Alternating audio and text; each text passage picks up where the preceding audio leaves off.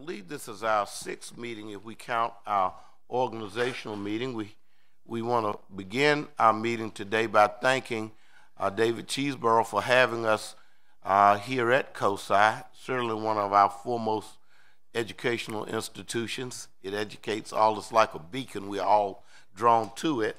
Uh, we even have some technology that I think David or someone is going to explain to us so that we'll know. Oh, oh, oh, all right. So Eric is going to explain to us so that we'll know how to use the uh, audio system uh, uh, today. We have a great deal of business to take care of on some very important topics, so I'm not going to delay. I'm going to first uh, turn it over to our executive director. We're going to go with David first. David. David? Is this working? there we go. It's working. Okay, And- well, And, David is going to introduce Tom Rieland from WOSU. will do. Will do. Welcome, Tom. What I can tell you is if you push that big button in the middle, it turns it on. So, uh, but I want to welcome you here and uh, uh, recognize that in my 40 plus years as a professional educator, um, it's there's a lot of same and a lot of different, and that time doesn't include uh, the early years in inner city Hough when I was tutoring math, and so. You know, we've got a situation where a lot of things are the same. The challenges that the kids and those families face every day, the challenges of, uh, of teachers in the inner city. But some things are changed, different. Um, by that I mean, you have places like COSI now. We really have a learning ecosystem that we didn't have when I started those early days in, in education. And just to give you one point of reference, and that's why I'm glad to see Pat and other organizations here, COSI served a quarter million children and their caregivers under the age of six last year. A quarter million learning engagements under six. We served and engaged with 400,000 teachers and students. So just as one hub in that learning system. But we've had to go at it differently. And we've had to go at it differently by embedding partners within us, whether it be WOSU, whether it be uh, OSU Labs, whether it be the, uh, the incubation of the Battelle STEM network in offices here, uh, research labs. So I'm hoping that one, as an educator who cares about our kids, that you folks are, are able to be inspired uh, in your conversations and in the input that you really come up with thinking about how we go about these differently. I think we've also got players around the table, players in the community like COSI are willing to step up and help. And, uh, and again, one of those unique capacities here at COSI is the WOSU studios built in and one and only in the country. So I want to introduce Tom Rieland.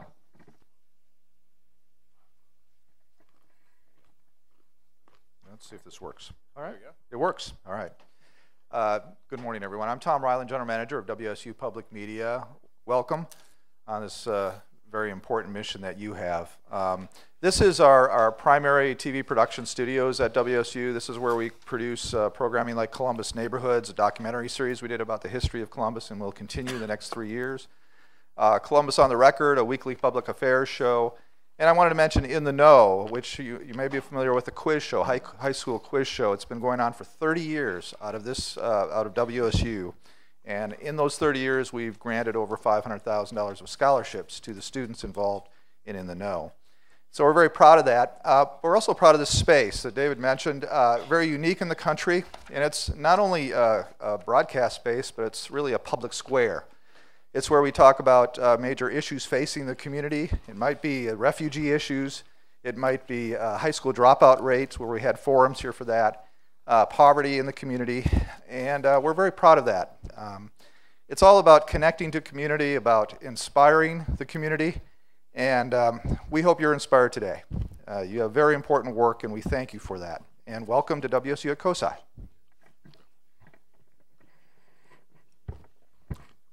Uh, thank you very much.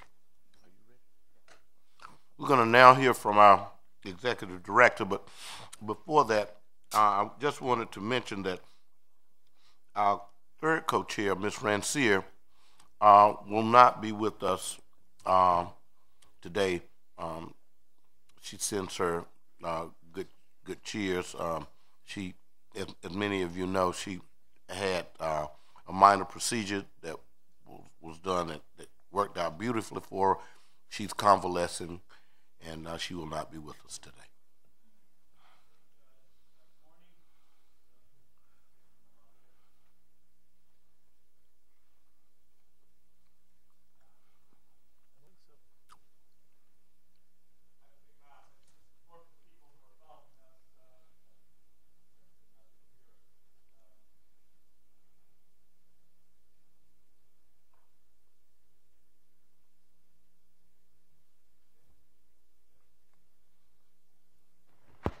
There we go. Okay.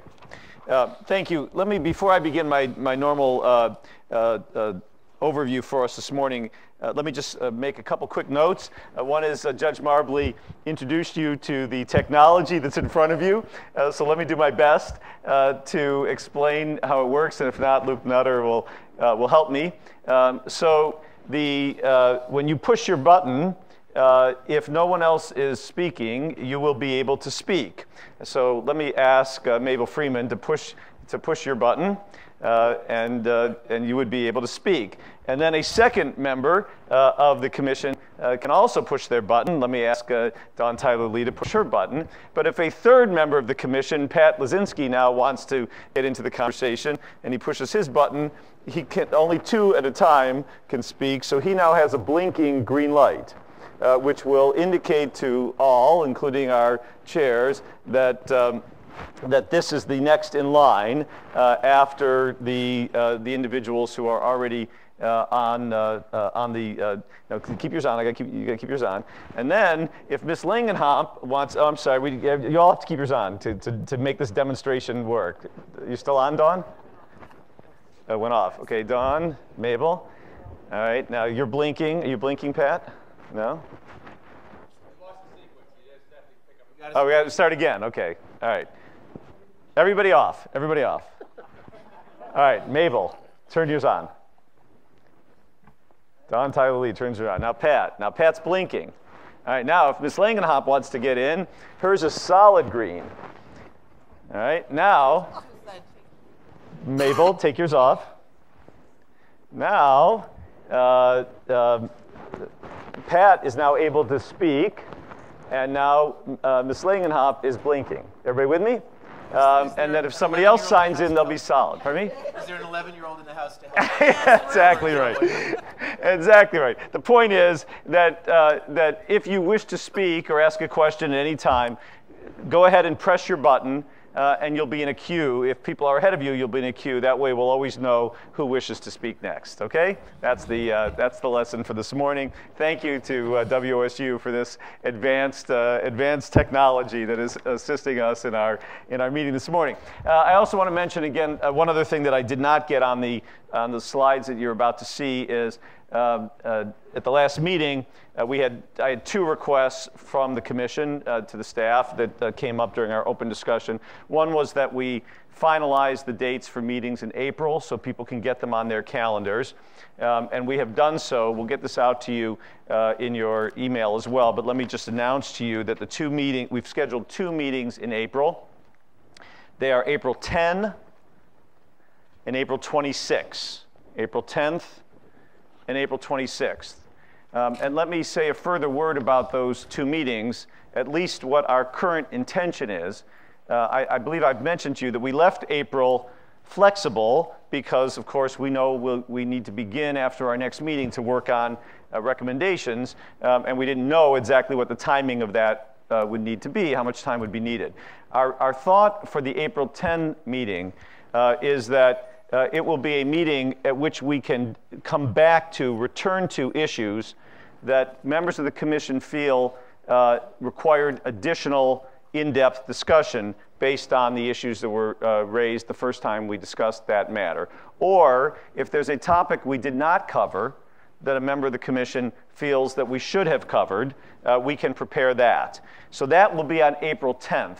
So the day is not currently planned, but we've given you a survey that's on your plate, that's on your place, uh, and uh, this is uh, we uh, respectfully ask the commission members fill out this survey dur- anytime during the day today, uh, and and pass it in to Matt Smido before the end of the day before you leave, and this will give you a chance to say on each of the subjects we've covered. Are there additional matters you want to return to or delve more deeply into? Or is there a new matter that you wish us to take up? Based on the response from the surveys, uh, we will then plan the meeting on April 10th. Uh, the meeting for April 26th, uh, we hope, uh, assuming all goes well, will be a meeting where we'll be able to discuss draft recommendations. So the, the, the staff, based on the discussion this afternoon of the discussion summaries that we're going to have this afternoon, and then on the April 10th, further, the, the chance to delve further into issues that you believe are still open or require further analysis. uh, based on those two uh, discussions, we will then prepare drafts of recommendations that the commission can discuss uh, on April 26th.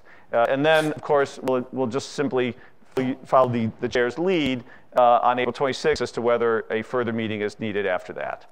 Um, and we can uh, then begin to look at May calendars if we need to. But as we recall, our goal was to try to be done by the, uh, by the end of April. So those dates, and that's what the purpose of the survey is, uh, and, uh, and that also is your explanation of the technology that is, uh, that is in front of you. With that, let me turn to our uh, our, our, our, regular uh, introductory material.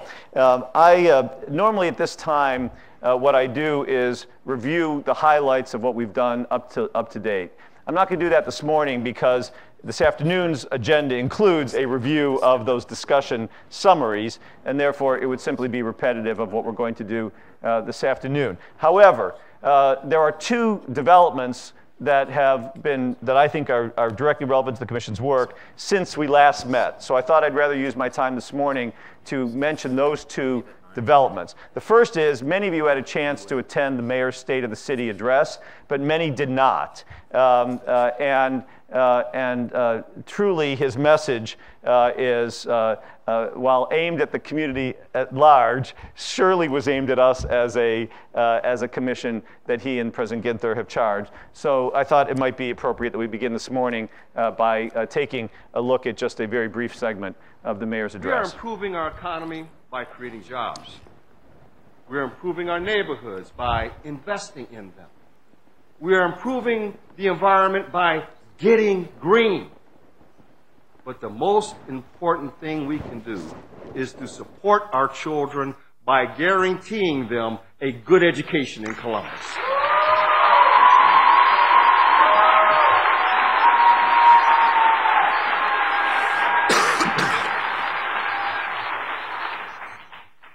Kids graduate from high school, they should be able to do one of four things.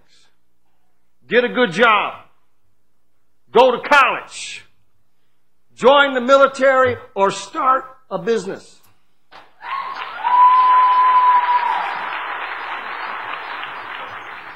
But too many of our young people are not prepared to do any of the above. I do not fault them for their lack of skills and preparation when it is our responsibility to get them ready. As parents, as civic leaders, and as business leaders, we need to fight to give our kids the best education they can receive. This is the fight for the very soul of our city, as educating our kids is nothing less than the next civil rights movement of our time.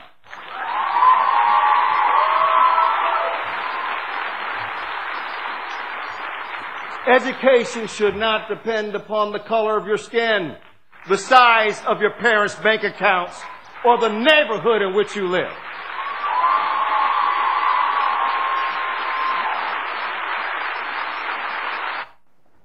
So obviously much more. The entire speech, of course, is on the city's website if you wish to uh, review the entire speech, as is the text.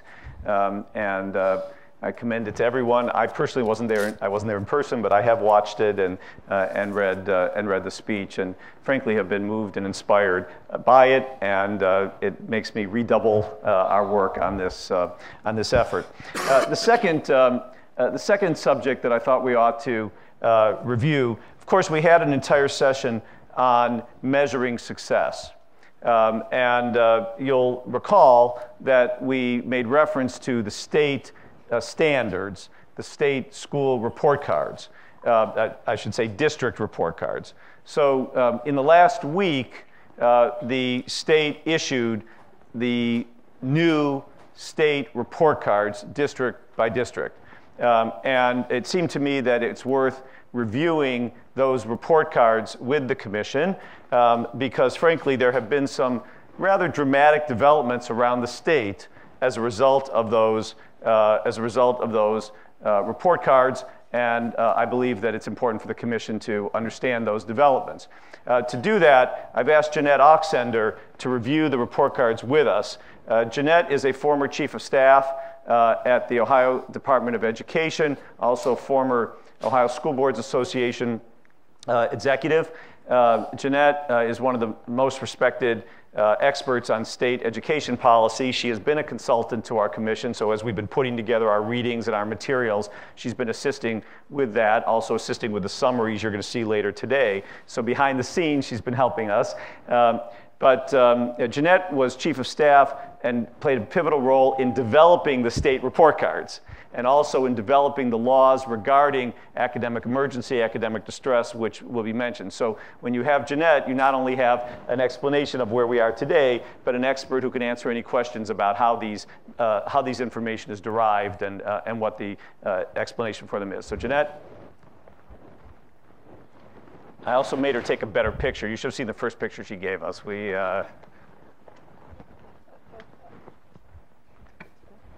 He did, true story. Right, She took it today. You can see, right? Look, look at the outfit, right? We, we snapped the picture this morning. This is See- it.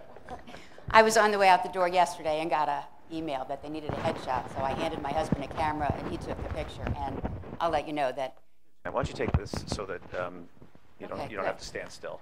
Okay. Right. Connect that as well. Yeah. So anyway, to finish the story, I do not let my husband take pictures of the grandchildren. Is that good? Okay, great. Well, good morning. And as Eric mentioned, since the last time the commission met, the state has issued report cards for school buildings, districts, and community schools.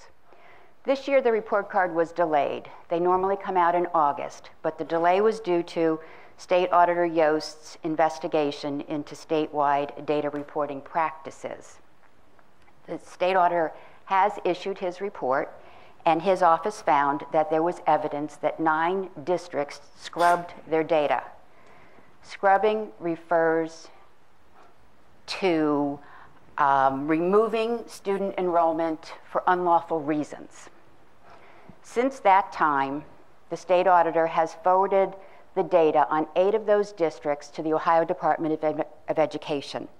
They are conducting their own investigation to see if altering that data had any effect on the local report card.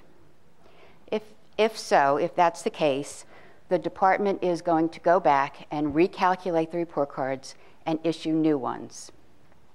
Of those eight schools where the data went to the Department of Education, Columbus is not part of that data set because the state auditor has not finished investigating Columbus City Schools' data issues. So, Eric said we're going to take a look at a report card. Let's start. You might ask why. Hmm.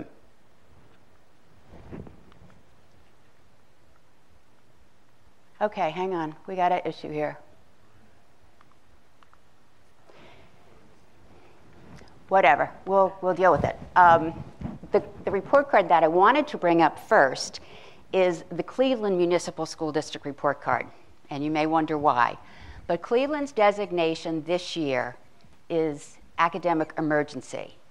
For a district to go into academic emergency, it's a true two prong test. The first is not meeting adequate yearly progress for four years, and the second is a grade of F, or basically academic emergency. Cleveland found itself in this position,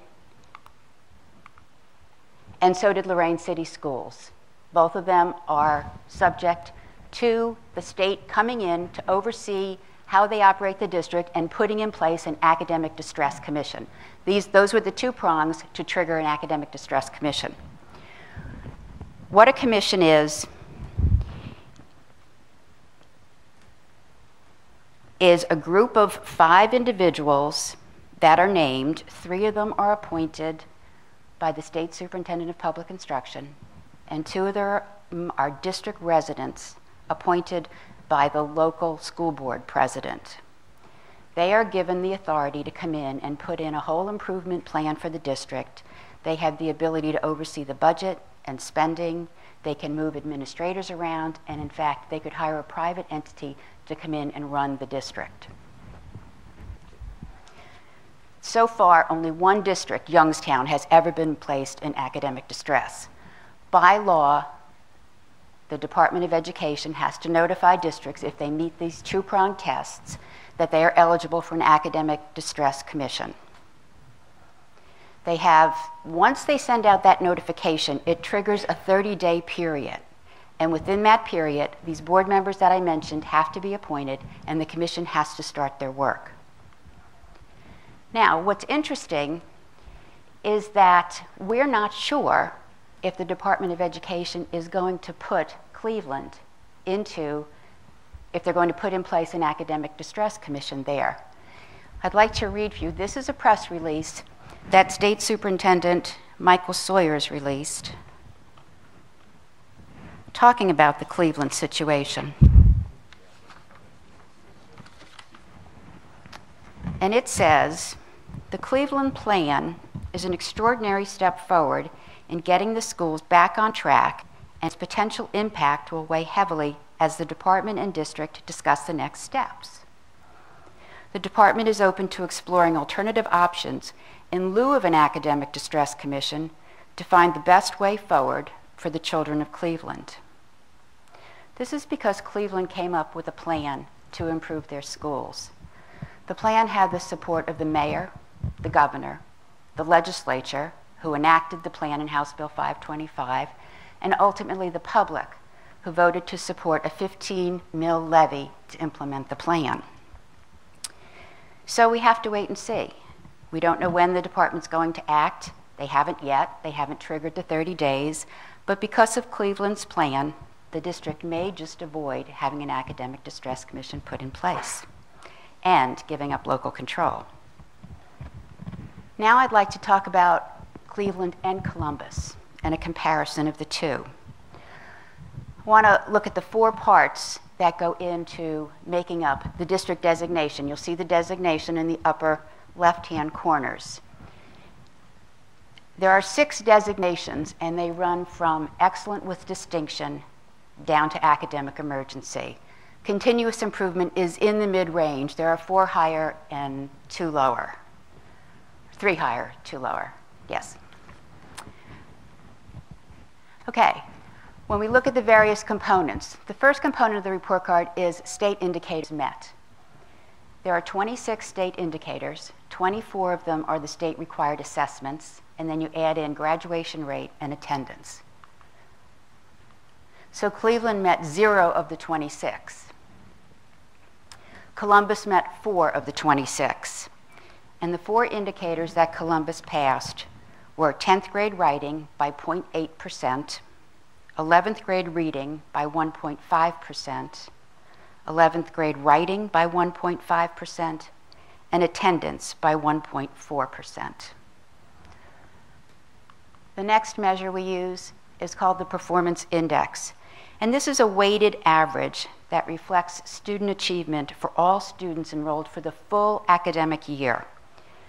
If the data investigation finds that low performing students have been removed from this measure, we don't exactly know what will happen when their test scores are added back in, but we do know that the performance index will be lower.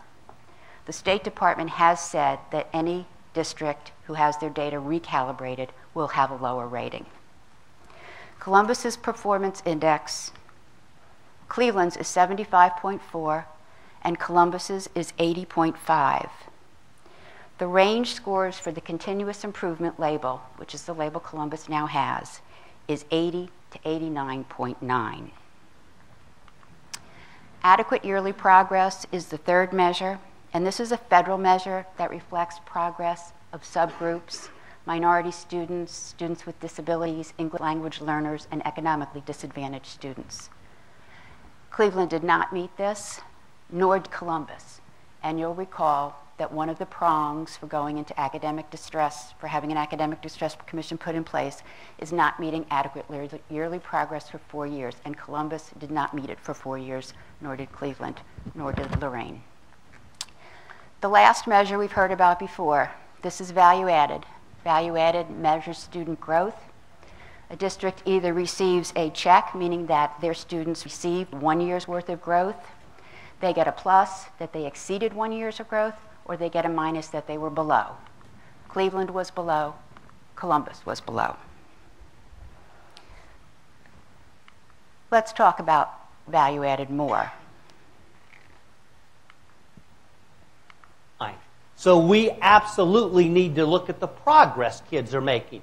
The way you get to higher levels of achievement is to ratchet up progress year after year. And for kids who come in lower, the progress rate has to be higher. Now, how do we measure that? We measure it with this tool called value added. And one of the things I like about value added is this.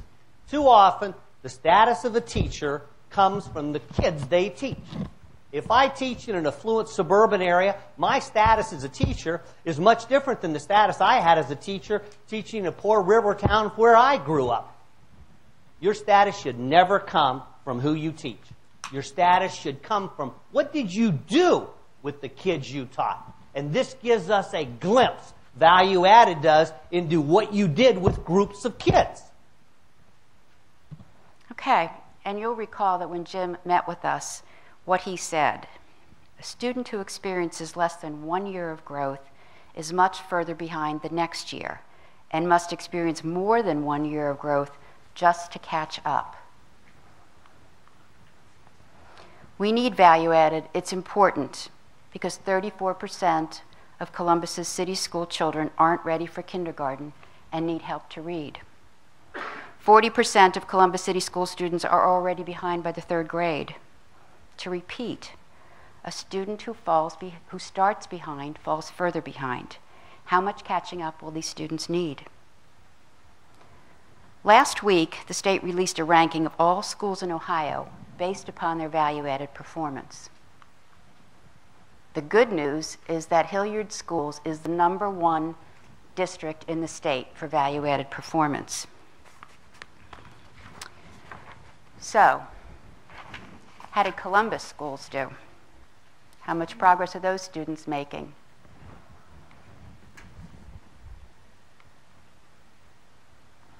Columbus City Schools ranked 824 out of 832. They were the lowest ranked in Franklin County among school districts and community schools. There are only two school districts in the state who ranked lower and those are Cleveland and Toledo. And there's Hilliard. You'll recall that when we discussed the win win agreement that Columbus City Schools has with suburban school districts, and that students living within Columbus City are often educated by suburban districts. So let's see how those districts did.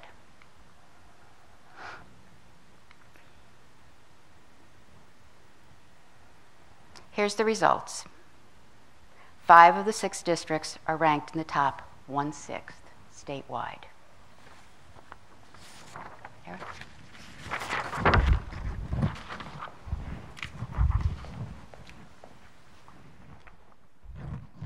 stay up here. Oh.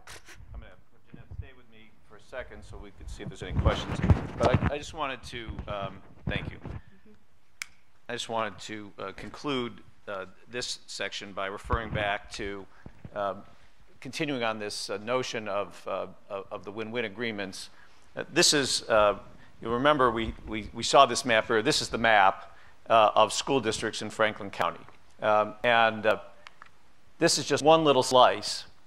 so if you look at this, the gray, dark gray is the Columbus City School District. The red is the Hilliard District. And the blue is the uh, Southwestern City School District. So we have areas of our community uh, where literally block by block, uh, you're in a different school district depending on uh, which block you live. And frankly, having just heard the mayor's state of the city, um, I uh, thought that that was a relevant thing for us to look at.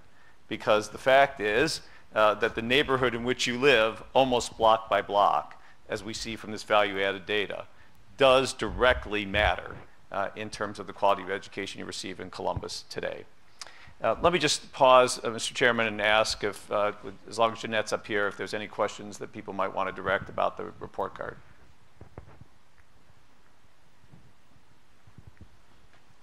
Okay. Thank you, Jeanette. Uh, so uh, very quickly, just a couple of our other matters this morning. Uh, as you know, I like to review with you where we are in our community events. We've now had six public forums. Uh, over six, over 350 people have attended those public forums.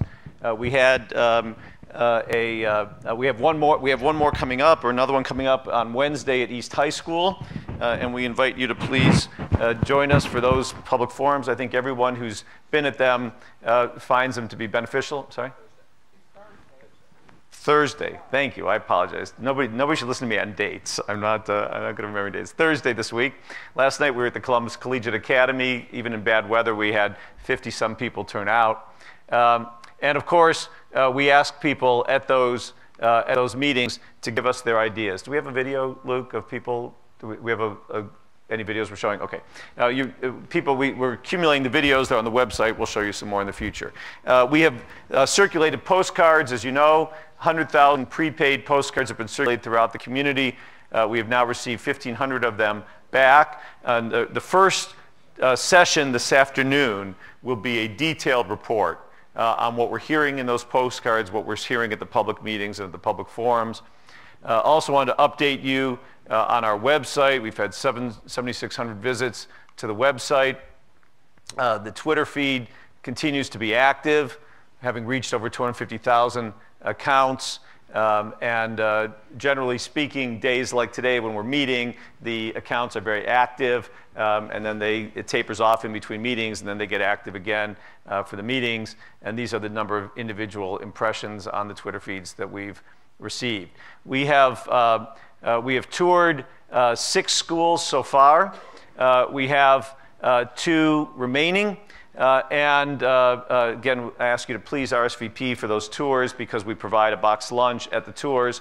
I also want to mention that uh, the second piece of feedback, the first piece of feedback I received last, last meeting was to schedule the April meetings, which I've announced to you. The second piece, uh, Chair, uh, Commission member uh, Pat Losinski and others, frankly, have asked about visiting a school that is not, uh, that is what we call a priority school, not a, uh, not a high performing school. and we are working on, on implementing that. Uh, and uh, so stay tuned for, uh, for dates for that. I, I, the way my thought process has been since we have that April 10th meeting now scheduled, try to schedule tours up till that April 10th meeting. So it'll likely be into the beginning of April when we do that, but we will have those, that tour additionally scheduled. we did have a tour just last week, North Franklin Elementary. Uh, as I mentioned, additional tours uh, to be announced thanks to, to the schools who've hosted us. And for those of you who came to North Franklin, thank you for doing that. I have to say, uh, all weekend, it was Friday, uh, and it was a great way to end the weekend. The week, and all weekend, I kept thinking about it, and frankly, it brought tears to my eyes. These young children gave us a tour of the school, of the elementary school, and uh, and it really. Uh, you, have got to have a heart of stone to not have been uh, moved by what we saw at, uh, at North Franklin.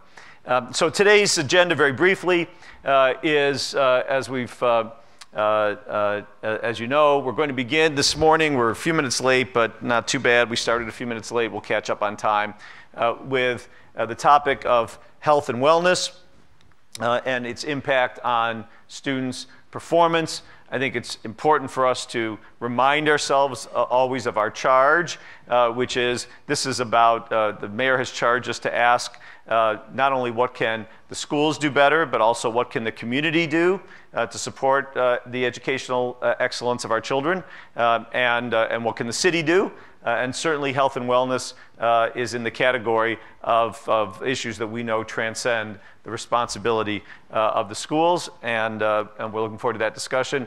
And we'll follow that after a brief break uh, with another topic that is similarly uh, relevant to what can the entire community do to be supportive, and that's the role of arts and sports in, in schools and educational outcomes and in the community.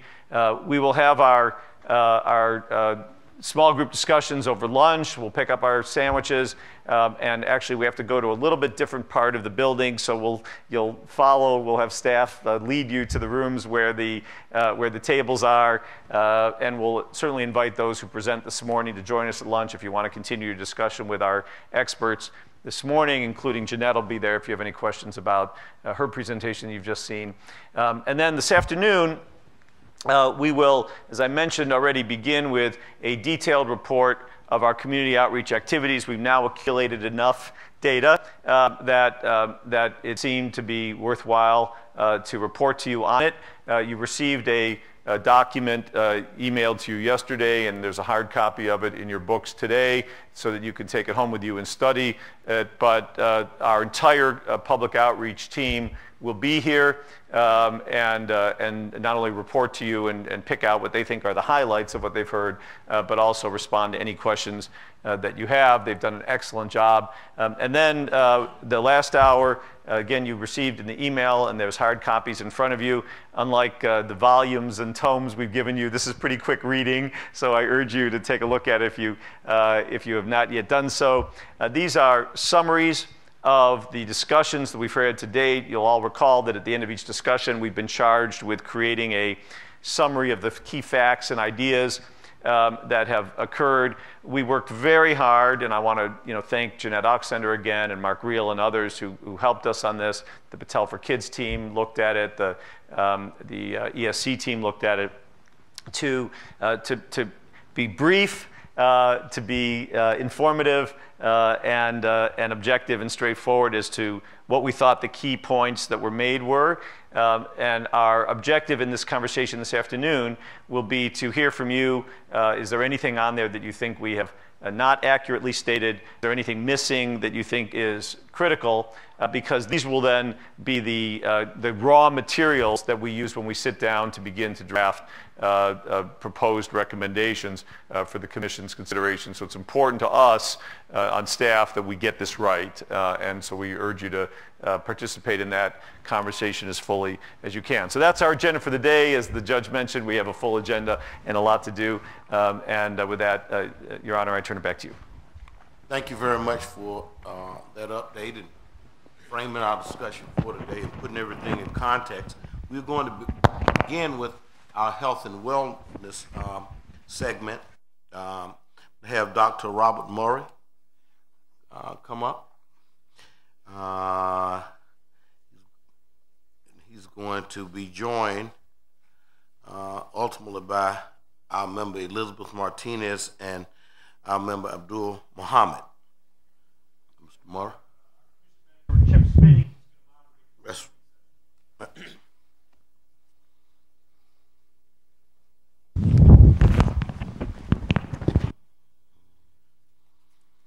I want to uh, thank Dr. Murray for coming. He is here with us from the Department of Human Nutrition, College of Education and Human Ecology at The Ohio State University. So I know that uh, our crown jewel will be well represented uh, today. Dr. Murray, you please proceed.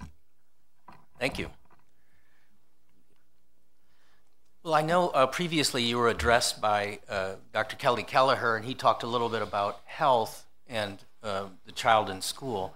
I want to talk about a little bit different spin. This is a national conversation that has started uh, in the past year where a number of groups are looking back at the data that they have that a healthy child, uh, an optimally healthy child, performs better in school. And we've said that for a long time. I think everybody believes it. Uh, but the truth of the matter is that the science has become incredibly strong around that concept, and I wanted to present that so that everybody's on an equal plane in thinking about this so-called learning connection. I think the first thing, I always remind people of this, we obsessively talk about weight in this country. We talk about obesity all the time. and we talk about BMI and we get numbers and things. But kids are not just overweight. They're, they're overweight and undernourished, and unfit.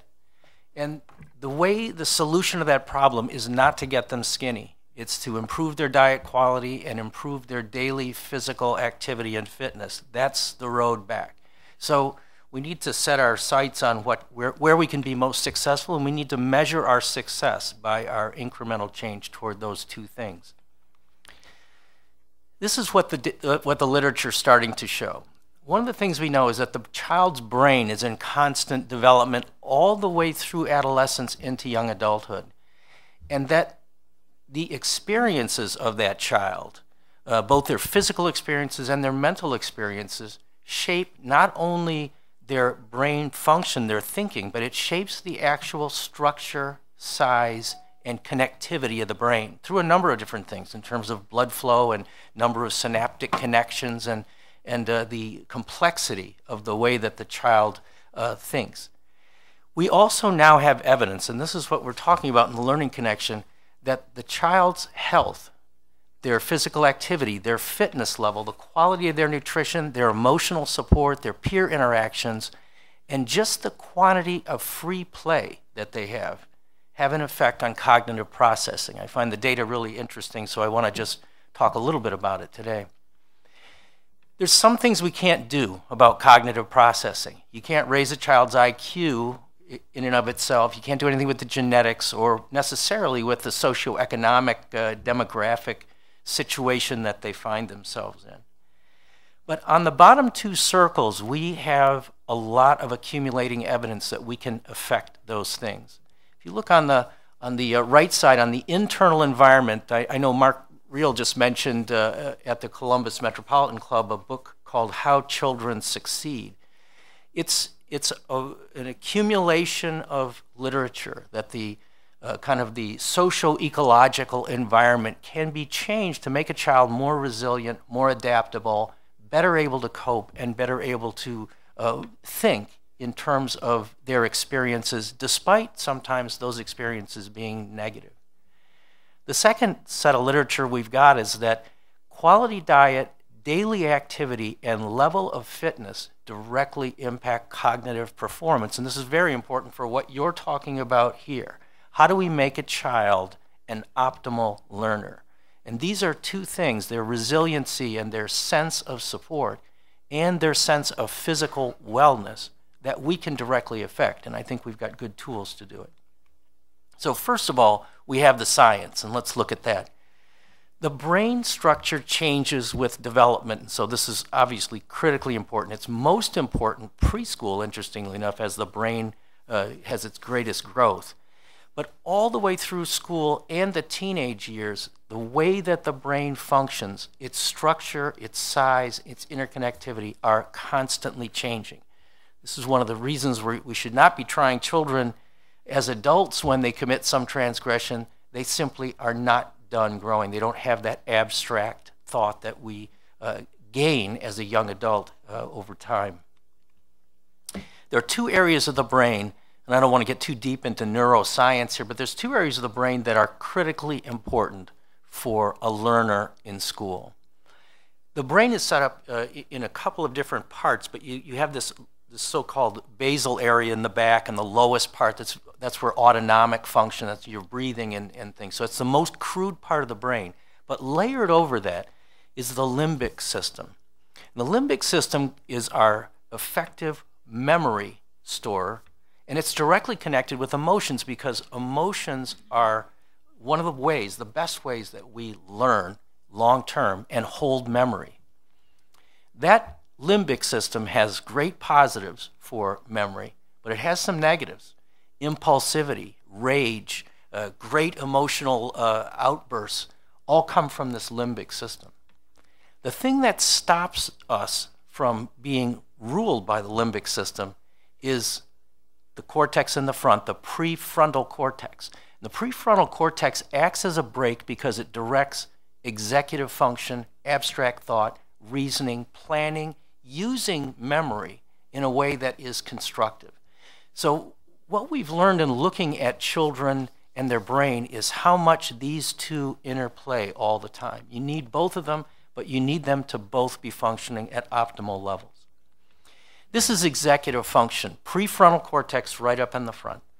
Making plans, handling multiple things at once, God knows that's what adult life is all about discussing using past knowledge, able to reach back in memory and pull it out and use that information, evaluating ideas, reflecting on work, making corrections, and controlling impulsivity. Very important. Impulsive behavior is a limbic function. And so the executive actually lays over that, that limbic area and controls it. When it's dysfunctional, when the child is not using executive function optimally, they have trouble planning projects. They have trouble with time management. They have trouble with sequential explanations, memorizing, retrieving information, initiating tax, uh, tasks, and retaining information. So I think it's really important that teachers recognize that one of the goals is if I'm a teacher, what I want is a student in the chair who is attentive, who is well fed, physically fit, ready to learn, and is using their executive function at full power, connected with their limbic function, that's where memory is, using that at full power to learn what I have to teach them. That isn't just about the time spent teaching, it's about how we use that time. Really important. We've got the tools, and one of the tools we have is an understanding that the fitness level and the physical activity of the child during the school day has a lot to do with how they perform in the classroom. Unfortunately, what got us, all of us interested in this is that if you look over the last couple of decades, things like recess, physical activity, creative arts have been slowly eroding as everybody recognizes and acknowledges. The interesting thing is that it's being pushed out to make way for more time, more quantity of time on academic subjects. And yet, I think one of the things that's interesting is that when the, the literature is reviewed, there's no data that says that adding more and more academic time in the school day necessarily improves performance. What we do have evidence for that's mounting quickly is that as you take away these daily activity opportunities for the child, that they actually perform worse. And this is a very important concept. There's a positive relation between the child's getting out free play, movement, creativity, and time away from academics in order to process academic information.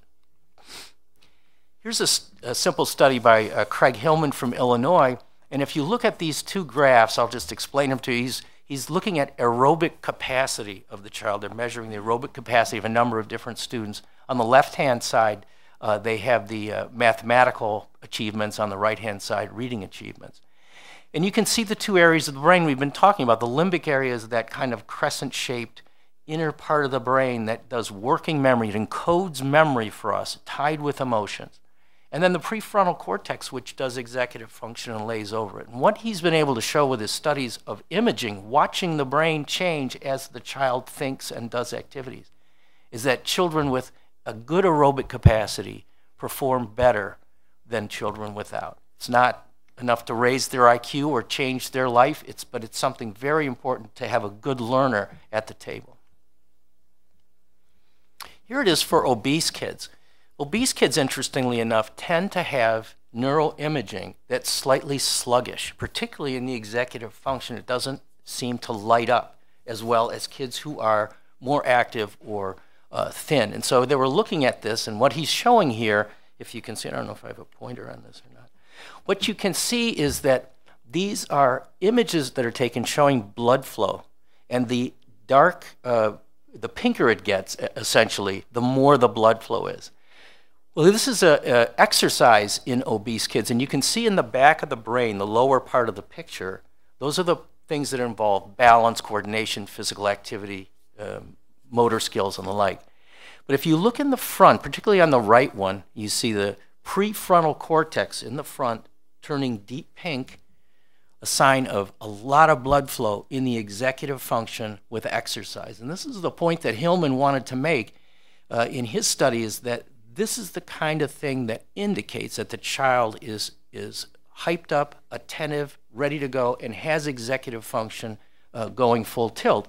If you look at these three graphs, you know, you're looking at um, exercising, and in the uh, light bars, you're seeing uh, math achievement scores going up as the child becomes increasingly conditioned. What's important to realize is that this kid isn't becoming skinny. He's becoming increasingly conditioned. The things we're talking about are uh, uh, applicable to kids all across the board, irrespective of their weight. You get improvements. The one in the dark bars is executive function, and you can see as the child became physically more fit, executive function was stronger and stronger and stronger. These are things that we can get for all our children uh, without too much difficulty. So we've got good data. I wish I could go into more. I've given you the wellness impact report which is brand new, just got released on Monday, that talks about some of the science between these. And uh, um, there's a ton of science. I wish I could spend the morning talking about it with you. Essentially, increased physical activity leads to improved classroom performance and, uh, and the ability of the child to actually uh, utilize their full IQ uh, in the service of learning. And we've got the opposite literature as well. As kids become increasingly sedentary, as their diet begins to erode over time, we find that their attendance records fall, their tardiness falls, their visits to the nurse fall, test scores fall. They simply can't pay attention very well. So, how do we approach this thing? We've got an opportunity to deal with all kids in school 55 million kids trapped in a box, is the way I used to say. Uh, so, we've got a great opportunity to look at some of these things in terms of their wellness. Uh, and we've got good tools. This is a finding that when we were researching uh, recess in the American Academy of Pediatrics, this was something that we found that was really interesting. For a child to have concentrated learning, the best way for them to process that learning was to give them a break, uh, a brief break between cognitive things. So it's not enough to switch from math to reading. It, you need to switch from math to a decompression time and then go on to the next subject. Some do this extremely well. We found Japanese schools where every 50 minutes of concentrated academic work, they spent 10 minutes on a break time for the child to optimize the child's cognitive processing because there's limits to how much you can cram into working memory and get it to work. And so this kind of a thing where, where we're not looking for more time, quantity time, but we're looking to use the time optimally. This is what's really important. So, recess is one of the things we do that's built to be a break in the day. To see it disappear is probably counterproductive. That's what the literature is saying. You can take away all these things, art and music and uh, other things, but you're probably going to lose in terms of cognitive processing. This is how the CDC defines recess regularly scheduled periods in the day for unstructured physical activity and play.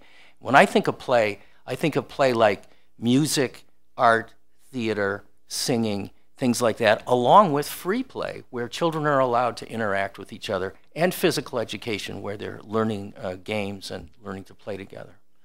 We've got great evidence on recess, and that's the report that I think we have that in your packet as well, a recess report. And it talks about not only the child's physical fitness from recess or physical activity, but their cognitive performance. And then one thing I want to talk about a little bit right now is their social and emotional performance. There's not many times anymore where kids get opportunities to play with each other and negotiate with each other and learn to work with a peer group without adult supervision and uh, structure. So one of the things we found when we looked at the social emotional learning in recess is that kids are learning practice role playing. They're learning to use that, that working memory. They have to build experiences, but they're also learning negotiation, cooperation, sharing, problem solving. Those are all executive functions. You know, when I worked at Abbott, one of the things I was always impressed with this, they would interview different candidates, and it, it, was not the degree on the paper or any of that that they were interested in. They were looking for this kind of a person somebody who could have good team skills, who was a problem solver, who worked with others to overcome those things. That's the kind of worker that we wanted, and whether they were a master's or a PhD didn't make a difference.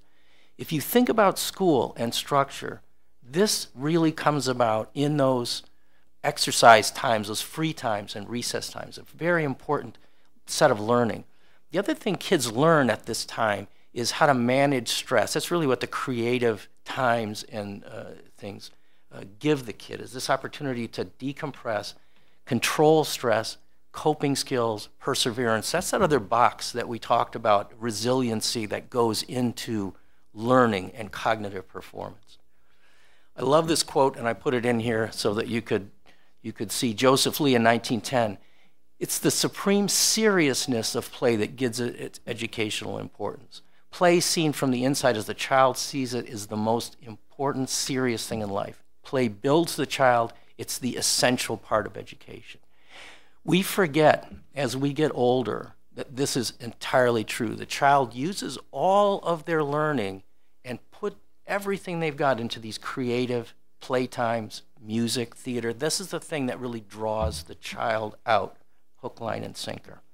We wrote a, a, policy statement on recess, and I, it's one of the saddest things in my life to see. We've got a number of these coming out of pediatric, out of the Academy of Pediatrics lately, where we have to remind teachers and parents and policymakers that kids need time to play. It's a sad thing to me.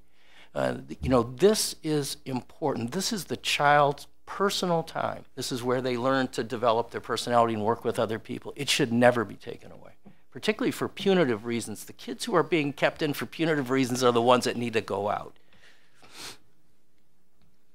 This is a sad thing, and I think it's important in terms of Columbus and Cleveland and other schools. Kids with the fewest minutes of recess are the ones who need it the most.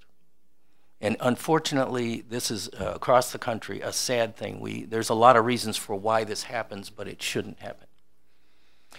So that's the physical activity piece. The other piece is that a quality diet makes a difference in cognitive performance as well. And unfortunately, uh, you know, the kids, despite a lot of effort that we've put into making sure that kids are not hungry and that they're able to uh, perform at their optimum, we just aren't there yet. Here's the problem with kids, you know, they're they're not just overweight. We talked about this. They're they're overweight, they're undernourished, and they're unfit.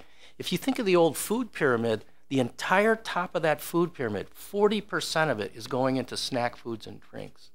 And the, most of this is occurring at home and out in the community. It is not a school problem, but the consequences of this are dire for the child in terms of malnourishment. The second thing that to me that is amazing, uh, having grown up in the 60s, is to see all the discussion we had about hunger in America. And now we're 50, 60 years later, and still one in five kids is food insecure. They don't know day to day whether they're going to get enough to eat. So if you look at a room like this and you think one in five, a lot of people, even in this room, have experienced this. I recently saw Howie Long do a presentation, and he talked about his life and it, it was so interesting to me because when Howie Long looked at the summer, he looked out at the summer. He saw it way differently than I did. I saw the summer as just a joyful time. Thank God I'm not in school. He looked at it and said, I just lost my best friend. I could get a meal every day, breakfast and lunch. I had stability. I had these things. And now I'm looking at three months where I don't know where the next meal is going to come from. Really a tough thing. And look, he's, he managed to get calories because look at Howie Long the other thing I thought I'd mention to you is that there's a, a documentary being released this week um, called A Place at the Table about food insecurity in America. It looks fascinating. I wanted to tell you about a trailer. There's a little girl in this trailer, they're interviewing her, and she was describing what it was like to be hungry in the classroom. Her teacher had noticed she was distracted. And she said when she sat there, she, she would sometimes hallucinate that her teacher was a giant banana. And I thought, man, almost impossible to learn if you think you're being taught by a giant banana. I, it's probably not going to work. We know it impacts mental health. We know it impacts development. It's a long-term problem. If the kid is chronically hungry or uh, consistently food insecure, that's going to have lifelong implications for the child. So we've built this since the 60s. We've built this tremendous network to try and put a floor under kids. Almost all of this is in or around school, after school programming and stuff. But some of these we still are having trouble with, like summer meal program. Think about it. Very few kids are experiencing uh, food being given to them in the summertime compared to during the year. Only 10% are getting those kind of foods. We know it makes a difference on their nutrition overall. If I'm trying to fix the problem of kids being undernourished, they got to eat breakfast. It's just absolutely has to be there, or they show deficiencies of major, major players in there. But this is the problem. I've got all these kids eating lunch. I have 32 million kids eating lunch every day, but only 10 million of them are getting breakfast at school. They're eligible, the money's there, we've got the infrastructure, we just don't do the job. Uh, it makes a difference. If you, this was a report that was just released uh, in February. Kids were less hungry during school when they got breakfast at school. They were more attentive, fewer behavior problems, better math scores, better attendance, fewer trips to the nurse. If I'm a teacher, this is the kid I want. That's the kid I want in the chair. we've got a new way to deliver it. We got grab and go. In fact, the first time I saw this pilot is with uh, Children's Hunger Alliance was working with uh, the Rotary at Kent Elementary School, and they did this as a pilot uh, several years ago to see how it would work. And one teacher signed up, and then all of a sudden the next year, all of them signed up because that teacher reported such a dramatic change in their child's uh, attentiveness and performance in the classroom. We have good studies on the school lunch program, very powerful. It's been studied three times in the uh, school nutrition dietary assessment. It beats any other venue that's there. Packed lunch, vended lunch, leaving school, anything. This is a nutritional powerhouse. Closer and closer to the dietary guidelines. This is uh, one of our best programs, dollar for dollar. But here's the problem kids eat less and less of school meals as they get older, and they start improvising on their own Here's what males and females look like by the end of high school. And I point out a couple of things here. Males do better because they're eating more calories, they're eating more meat, they eat more grains, and they drink more milk. Females, on the other hand, by middle school, really begin to erode diet quality, and some of these have huge implications when they move into young adulthood to have babies folate, zinc, iron. These are major, major impacts on the mother, on the pregnancy, and on the baby for, for the baby's health. So we've got the science and we've got the tools. We're not using them optimally. We've got tools that work. Um, and we've got a process to put in place. And I just want to tell you really quickly the story here at Columbus uh, Public on how they have used the wellness committee structure to develop their uh, diet quality, to improve diet quality. And I've had the pleasure to be on their school health advisory committee for the last five years. A lot of good stuff has been done at Columbus that tends to be drowned out by other things. So I, I just want to talk about this a little bit. First of all, they used the CDC model and they looked broadly at health and nutrition across the whole school, not just at one or two things. Uh, and they included everyone at the table, community members, as well as uh, administrators, staff, school food service, school nurses, and the like. This was a project that actually got underway because of money given to them in a grant from uh, Osteopathic Heritage Foundation. They began to study seven schools. They began to look at the health of the kids, and the data that came back was alarming. They had diabetes rates that were going up quickly. They had kids that were overweight. 50% of the kids were overweight. Most of those kids were in the extreme obese category, greater than 99th percentile. And so they brought this information back to the superintendent, and the superintendent realized that the school was not only not helping the situation, they were probably hurting the situation. And so she asked the school nurses to put together the school health, health advisory system, and they had the main school health advisory council for the district, and then had these subcommittees, all of them working on different aspects of health. Well, I'm going to talk about nutrition, a little bit about physical activity, but all of these committees have had tremendous impact on the district itself. But here's what the nutrition committee did. They sat down and they laid out a three-year plan and they took this back to the, to the superintendent, said, this is how we would like to change nutrition. And she gave it her blessing and it moved forward. She not only gave it her blessing, but she pushed back on people that were the naysayers. And that's one of the problems in schools around the country a lot of forces at work here PTAs, cookie sales, all kinds of interesting things. What they did first was they cleared all sweetened drinks out of the schools, water only vending. She then began to lay down changes in the school meal programs to optimize those, and she began to look at vended foods. And then we began the process of looking at policies and so forth, such as uh, allergy policies, class parties, and other celebrations. For vending, anything in the school. They use the SnackWise software system, which looks at the food label and assesses not only the things that aren't good, like fats and salts, but they look at the things that are, that are good, that you want quality protein, zinc, vitamin C, iron, those kind of things, and try to get a score. And based on that score, they laid out a three year plan that you can see by the end of year three, no low quality snack food items in the school at all, gone. And so they really used what was available to working with Cardinal uh, Vending Company to really remake all the foods that were vended. I loved it. There was some little kid that came up to uh, uh, to uh, Gene Harris and, and said, "When are we going to get the Doritos back?" And Gene Harris said, never. the goal was to improve diet quality, and they have done that in a tremendous way. School Food Service has done a great job overhauling the, the meals in advance of the national uh, guidelines.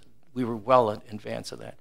And we're working now on these things, such as concession sales, happy birthday parties, and other things in the schools to try and find a way to do this that's um, either non food or is healthful, healthful food that contributes to nutritional quality. For physical activity and uh, physical education, a number of things have been put in place. Uh, we've started to really look at uh, the new PE standards for the state and how to apply them broadly. But we're looking at a whole lot of other things, a number of different things have been done in schools around the country. They're simple and easy. One, one school, my favorite, did these walks at noon, and the teacher would take them out. They would have someone from the community come in and walk with them every day and talk about their job, talk about who they were, what their education had been, and how they did their job. So these little kids were able to ask questions of the adults in their community in a way that was interactive while they walked at noon. And this is what it looks like comprehensively. If you build around a quality physical education program, you can find areas to improve daily activity uh, in order to have the child uh, motivated. We'll hear today a little bit from the YMCA and others about physical activity in the after school programs and other opportunities in the community. Uh, but these kind of breaks in the day are important for cognitive processing. The last thing I'll point out is that even though I don't think we should be focusing on obesity as the primary target, Schools that have done this kind of comprehensive attack on the problem have been successful recently in lowering their BMI rates, Columbus being one of them. This has happened in smaller communities where it's fairly easy. If you've got four or five schools, it's not too hard to do. When you've got 55,000 students, really a challenge to do this. But New York, Philadelphia, LA, Columbus have shown about a 3 to 5% decrease in and most impressive to me, it's among the younger kids, and they are currently in this country at the highest risk for gain. So they took a tra trajectory that was absolutely logarithmic, and they flattened it out and dropped it a little bit. This is, if this is sustained, this will be a very important uh, contribution to the health and a real visual uh, feedback on the fact that they have taken a comprehensive approach and really made it work for them. So I'll finish with this. This is something I think that's important for people to know.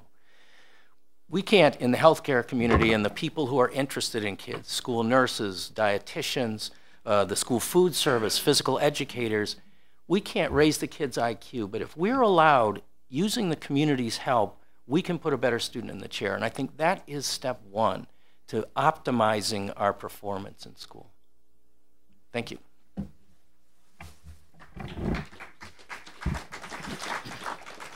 I think that's a lot of a lot of information. It's really informative. Um, if you could boil it down into you know a few things, it sounds like there's a great foundation that's already in place.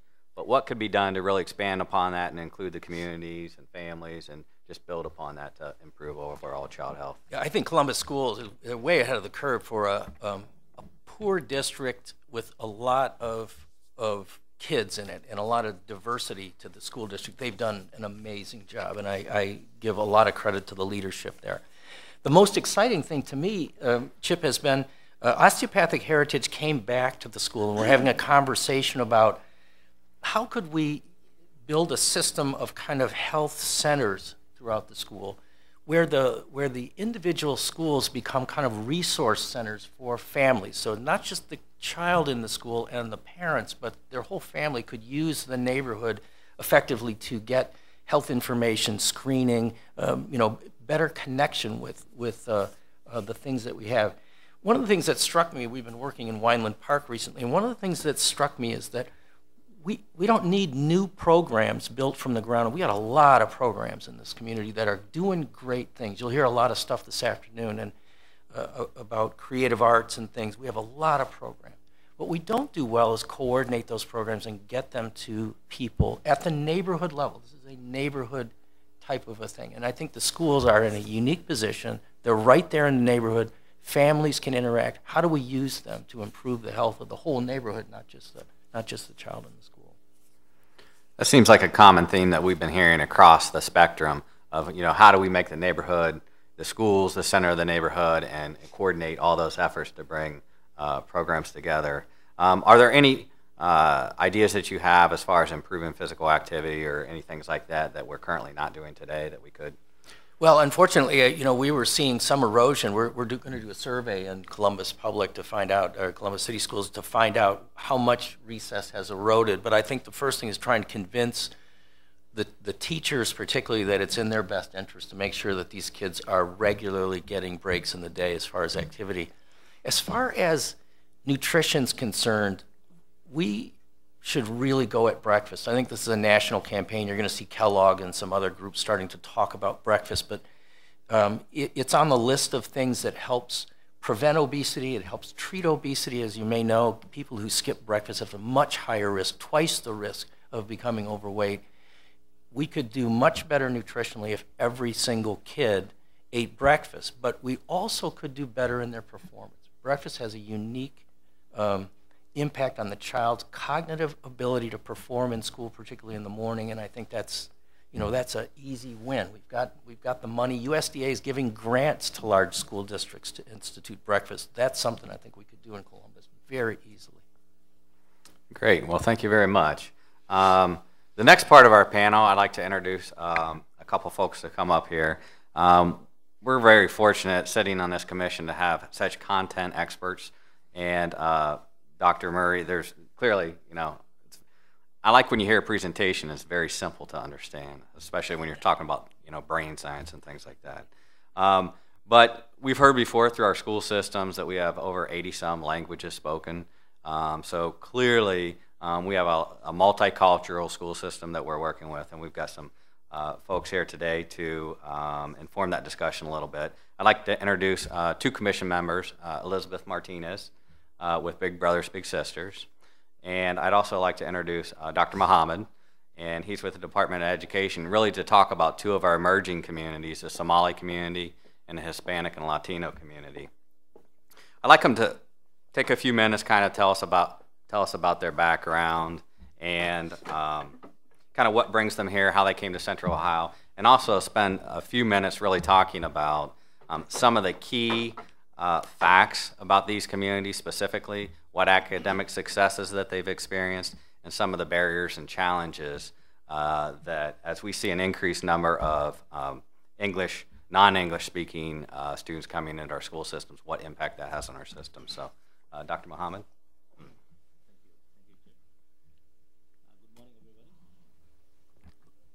The, mic the microphone will help, I'm sure. Good morning. Um, My name is Abdinur Mohammed, and I am with the Ohio Department of Education. Um, as you have that uh, information in front of you, I think we have um, um, information uh, on your um, packets about uh, the presentations that we have for you, but we will give you a summary of um, uh, our presentations uh, this morning. Um, Chip, as you asked, I I'm originally from Somalia when I came uh, to this country uh, about 30 years ago, um, and I came uh, for the purpose of getting higher education uh, here in the United States. Oftentimes, we talk about how do we get um, students who study here in Ohio, um, higher education institutions, to stay and live um, in our communities. And I'm one of those that have decided to uh, remain here in Ohio and I came to uh, Ohio University uh, to to do my higher education, and then um, started working here in Ohio, and have made uh, uh um, living here for the past couple of decades. Um, do I have my? Okay.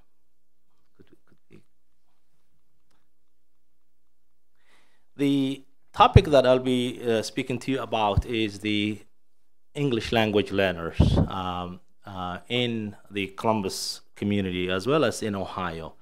And when we say English language learners, we're talking about um, huge uh, influx of uh, um, immigrants, refugees, uh, and other uh, communities who speak a language other than English who are in our communities and who are um, attending Ohio um, schools. And um, uh, the data that we show um, uh, would indicate um, the work that's going on here in the Columbus Public Schools as well as um, uh, in Ohio in general. Um, these students include um, uh, Somali uh, students uh, here in Columbus, Ohio, as well as Hispanics, as well as, as, as Chip said, about 110 other languages spoken in, in Ohio in general. And uh, Columbus Public Schools, for example, there are over 80 uh, languages uh, that are spoken by the um, uh, immigrant uh, and, and, and uh, English language learner populations. If you look at um, the demographics of, of Columbus, the foreign born population has been increasing for the past um, number of years. And and the reason for that could be um, the quality of life here in uh, Central Ohio. Um, could be jobs that are available in Central Ohio. Uh, of course, uh, affordable housing for many of the immigrants uh, that come to this community, as well as a place that you can raise a family. So, well, we're, we're grateful that people are coming to uh, to Columbus uh, for for those reasons, and and we want to keep it that way. Um, when you look at the migration or, or, or movements of um, uh, immigrants and, and foreign-born populations in Ohio, and you look at the school districts, um, you'll find that Columbus has almost one-eighth of the immigrant populations in Ohio, one-eighth. Um, and when you compare Columbus to uh, Cleveland, uh, Cincinnati, uh, Toledo, and the large cities, you'll find that they don't even compare. And when you look at Central Ohio uh, uh, as a region, Central Ohio gets more um, uh, populations of who speak a language other than English than any other uh, groups groups in uh, regions in, in, in, in, the in, in the country, in the uh, state. So, when we say English language learners, these include immigrants, refugees, as well as native-born citizens like the Amish and Puerto Ricans who speak languages other than English. Uh, many people think that um, uh, the Amish are not included here, but they speak a language called uh, Pennsylvania Dutch uh, when they come to schools, and uh, uh, they are included in, um, in, in, our numbers for English language learners. And some of Ohio's ELLs, or English language learners, come with backgrounds where their education was frequently interrupted because of civil war, for example, the case of Somalis, um, uh, the case of uh, Burmese uh, from Burma or, or, Myanmar, and Bhutanese, um, and other uh, unstable conditions. And these students need additional academic support in the classrooms.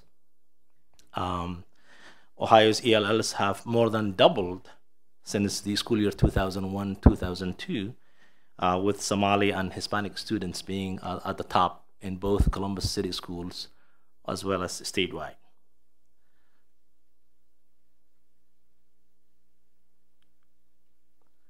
Um, English language learners are expected to meet the same academic standards as native speakers um, in English. So uh, they have a, uh, a, challenge of not on, only learning the language, but also competing academically with, with other students many of the English language learners lag behind academically due to language and cultural barriers. However, this gap gets reduced as ELLs learn English over time.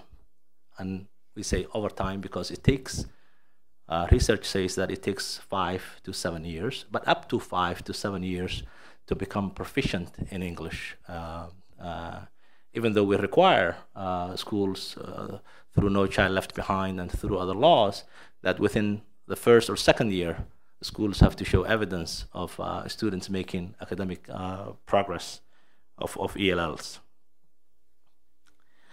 English language learners, we know, and research bears that out, uh, need considerable time and support in attaining English language proficiency.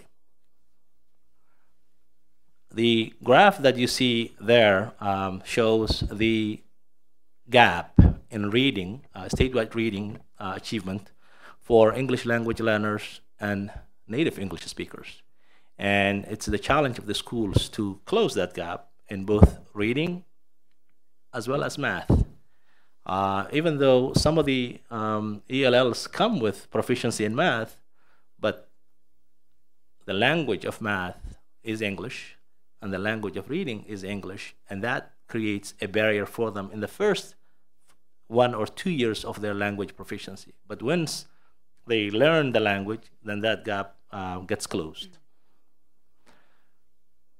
We also have uh, these students, uh, their parents, the parents of Ohio's ELL students, also have limited English proficiency issues, even though they are motivated to be involved in their children's education when made aware of the educational progress of their children and are communicated in a manner and language that they understand. One of the issues that uh, schools um, uh, work with, for example, in Columbus, is having the ability to communicate with the parents who speak over 80 languages and finding the right tools and the right supports to be able to communicate in writing uh, to all those parents about the academic progress of, of their children. Uh, we're, we're trying to do a good job in Ohio in providing uh, translators, uh, vendors that can provide this, this um, services for schools.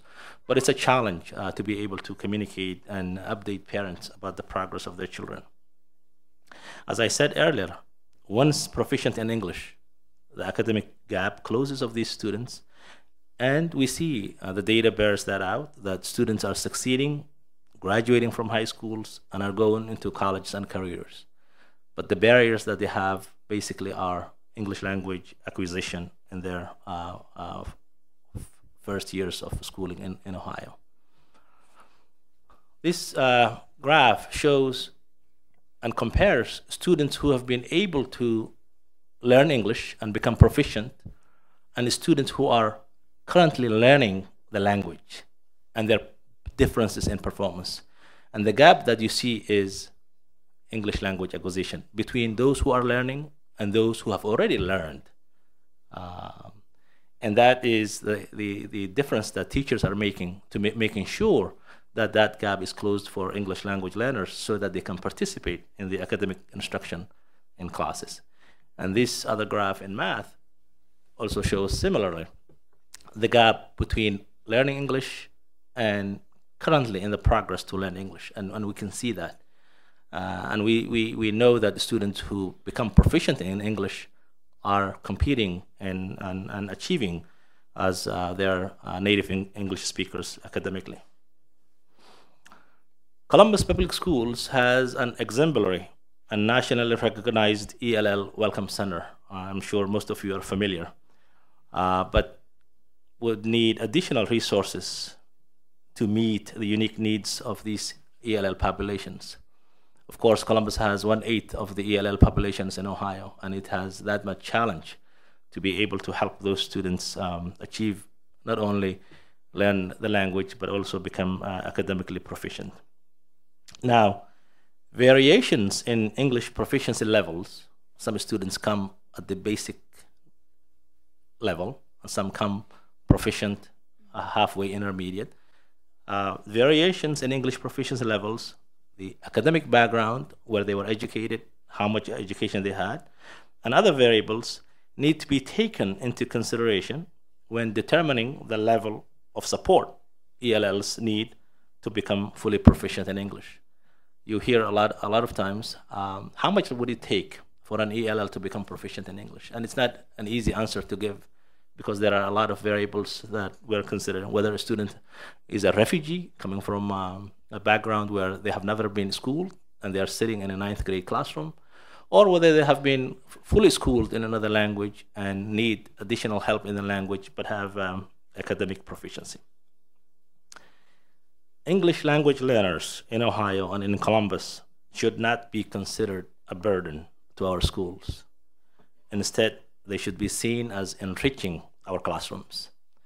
Um, uh, this is uh, noted by uh, Columbus school teachers as well as educators in Ohio that they see the value in having English language learners in our classroom, the contributions that they make, and once they become proficient, they are um, uh, succeeding uh, uh, in, in, our communities, and we we look at them as a um, as a resource enriching our classrooms. Uh, the schools of the future, if you would think uh, in the future, will look more diverse, will be more diverse, and look more like Columbus than otherwise, and will need um, schools to prepare themselves in educating and having the right tools to prepare the um, future um, children. As a matter of fact, over 250 Ohio schools out of um, 750 educate English language learners throughout Ohio. And um, as, as communities move out into the suburbs and to uh, rural areas, uh, you will find English language learners throughout the state of Ohio. And uh, the diversity that they bring uh, uh, uh, certainly helps those schools. And when you look at the, vari the, the, variety of language that these students have, and we've mentioned over 110 languages from Albanian to Zulu using the alphabet, but more languages in between, 110 languages of them. Uh, Ohio should take advantage of these native language uh, uh, skills that these students bring, uh, it, and it's an important resource for our for the global market because at this uh, um, age in in in in in, in um, our growth, Ohio certainly needs the diversity of language that our students bring, and, and we need to find ways to tap into those and make sure that not only our students speak uh, language such as Chinese and Persian and other national security uh, important languages, but also um, uh, ensure that we have a labor force that is proficient um, in the many languages. Um, the the the um, conclusion of my presentation is that that uh, Ohio is certainly uh, um, at a better position uh, to take advantage of um, uh, the diverse uh, communities that we have, and they bring and richness and, and, and value to the quality of education to, to our schools. Thank you.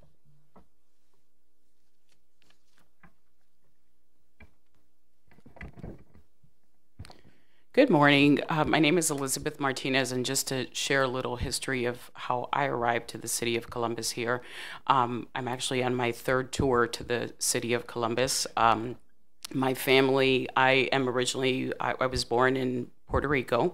Um, my family traveled quite a bit back and forth um, to the US and, and back to Puerto Rico, and on an occasion, um, in my childhood, I had an opportunity to live here in the city of Columbus went back to Puerto Rico, um, came here again um, for a number of years, and then returned and uh, returned uh, finally to Columbus as an adult, um, and have obviously made um, this very welcoming city um, home for for me and my family. Uh, Spanish is my first language. I grew up um, speaking both languages in my home, and when we resided in Puerto Rico, my uh, parents always spoke English at home, and I had the opportunity to attend bilingual schools in Puerto Rico to be able um, to retain uh, language proficiency um, in the English language. Wanted to spend a little bit of time sharing today um, from the context of the work that we have done um, through Big Brothers Big Sisters and the Latino community um, to help um, shape and uh, guide the conversation about um, Latinos in our community. We started earlier talking about the charge that the mayor is giving us to examine the challenges and opportunities facing all children living in, in the Columbus City School District and certainly recognition of um, these populations, not only Latino and Somali population, but other English uh, language learners populations, I think is certainly relevant to this conversation of educational attainment. So what are some of the key facts of um, the Central um, Ohio's emerging community? I think one of the key facts um, and I'll try to do my best to follow along here with the slides. However, um, we have uh, been charged with another task, and that is uh, trying to get this through this information as soon as possible. So I will run through some of the slides and highlight those um, that I will um, be speaking about here. I think one of the key facts is just the demographic shift that has occurred in the nation as a result of the growth in the Latino population. So, of the 308.7 million people that live in the US, 50.5 million of those are of Latino origin, representing 16% um, of the US population. From the years 2000 to 2010, the, the increase of the Latino population was 43% compared to 10% of the overall growth of uh, the population. We represent 16% um, of the population, and if current trends continue and projections for 2050 hold true, it is expected um, that the demographic profile of the youth of the U.S. will change dramatically um, by the by year 2050 and increasing from um, a current 16% representation of the entire U.S. population to a 29% um, increase. Another key fact about um, the Latino community, students and families, is we are a very diverse community. And so when we tend to talk about Hispanic or Latinos, um, there's a tendency to group um, group the entire um, group together without noticing that there are some distinctions even within the culture of Hispanic and Latinos. We represent over 20 countries of origin um, as a group and a wide um, spectrum of immigration histories from folks that are arriving to the country um, here that are new to the country to those that have been here for multiple generations. Many of the students and their parents arrive here to the country, as um, Dr. Mahmoud uh, mentioned earlier, for opportunities um, for better education for their student, as well as economic opportunities for, the, for those families. Um, and the parents uh, range, uh, their, their education and socioeconomic backgrounds range as well. The Latino community is a group of individuals um, that come from a rich culture of strong core values, customs, and, and traditions. And, and I think it's worth noting as we talk about inclusion of this community to certainly um, note that there are a lot of uh, benefits and things that we can learn from this particular population that add value um, to context of all conversations that we're having. Many students, as Dr. Muhammad mentioned, and I will also um, reiterate that, that have received some formal education in their countries and are arriving here having um, performed well academically um, in their native countries and, and again are having challenges as they arrive here um, and are trying to um, learn a, a new language.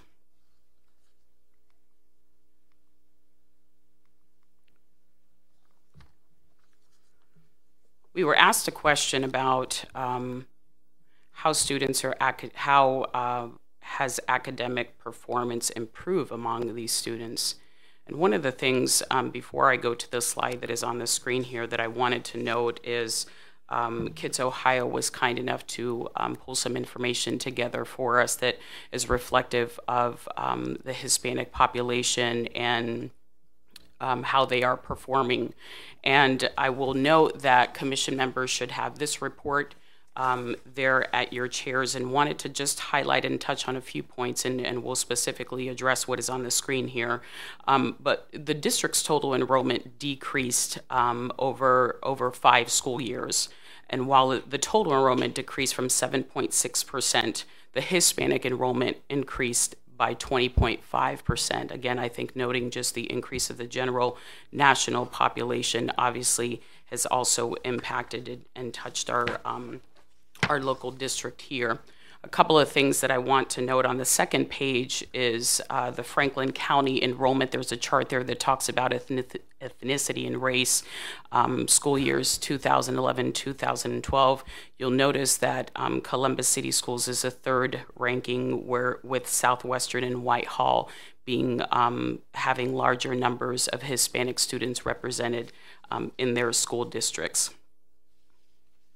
So, so the chart that we have up on the screen here that talks about the academic performance of Latino students in Columbus City schools, um, Hispanic students uh, scored higher than the district on the state rating test in grades four, fourth through six um, in 2011 and 2012. Um, they also Hispanic students also scored higher than the district on whole math in grades three through six as well. So, to the point to make here in, in the context of the question of how has academic performance improved among these students, I think um, is worth noting that um, it, it seems that Hispanic students are are showing some some gains and in some occasions are outperforming the district um, as a whole on a whole number of indicators um, that we referenced here. And with significant growth happening um, in the community, uh, not only at a national level, but here at our local community, um, and that growth specifically happening over um, a little over the past decade, I think what we found not only with Columbus City school districts, but districts across the nation, just having a challenge of being able to meet the needs, um, the cultural needs of all of their student um, constituency but it's good to know that, that we are making um, progress in those areas. So the question about um, what are implications for school as we consider, um, you know, the demographic sh shift and the continuation of um, new English language learner arrivals to our district. Wanted to talk about um, some things related to um, considerations um, for for the commission is we talked about English mastery being um, an important prerequisite for student success and and wanted to say that again even though Dr. Muhammad has mentioned that I, I think you'll find that when we're talking about English language learners and uh, Dr. Muhammad was speaking about the Somali community but whether we're speaking about the Somali community the Latino community the Asian communities we'll find that that there are a lot of um, there's a lot of information information that uh, is transferable, a lot of best practices that districts are implementing that will um, be able to impact the entire English language learner community. I believe that um, there is strength in diversity, as Dr. Uh, Muhammad has mentioned. I think that diversity alone is not a strength. Um, I do believe that when we create, um, you know, we build bridges of understanding um, about the communities, and we're able to really leverage the talent of all of those that are in our schools in our community. We talked about um, the need for more bilingual and bicultural staff, um, and I also had a note to tout some of the work that the Columbus Global Academy is doing, which is the Welcome Center that um, Dr. Muhammad referenced. Um, certainly an opportunity there in that space to have a concentrated effort of um, resources coming together to not only conduct outreach to the families, um, but provide intervention services to students and so taking consideration um, of doing that broadly across some of our other schools that have um, Latino students within their buildings someone who can really just understand the dynamics of what is going on in the home, um, the school, and the community environment as well. And I think recruitment of and retention of specialists in the schools as well. So on some occasions, we will have um, one or two individuals in the building that, that are bilingual um, and are able to communicate with the families and understanding that, that the needs may be beyond um, just the ability for, for a couple of individuals to be able to support um, that particular population.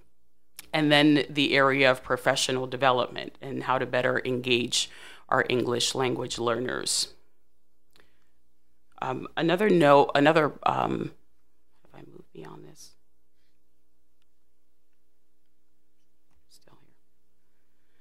So incorporating um, the Latino culture into the services and programs consciously and explicitly. Um, what I what I mean by that point is um, we want to move beyond the recommendations to be move beyond just translation of a document or having someone um, interpreting um, at a school building. And I think this is true. We found it specifically in our work in a nonprofit organization. And in spirit of transparency, I'll share a story about when we began our work locally um, trying to integrate um, with the Latino community, had a camp program that we own and operate in the Hocking Hills, and um, this precedes me, um, but we had a group of um, folks that took out a, a a group, a cohort of Latino students down to camp. And um, from what I understand, and that was many, many years ago, is that um, it wasn't access, as successful. One, we didn't have kids that were able to um, communicate with the staff. Um, they had very limited English abilities, and so there was a language barrier there. There were also barriers in families really um, kind of um, entrusting the organization of, of taking students away to Hocking Hills and how did they communicate with them to find out how the kids were doing. And so we certainly recognize that it was just beyond um, layering the work that we are doing um, and tried to make the Latinos um, issues or, or needs fit, but rather um, having an opportunity to look at what the needs are and how could we um, best fit those needs.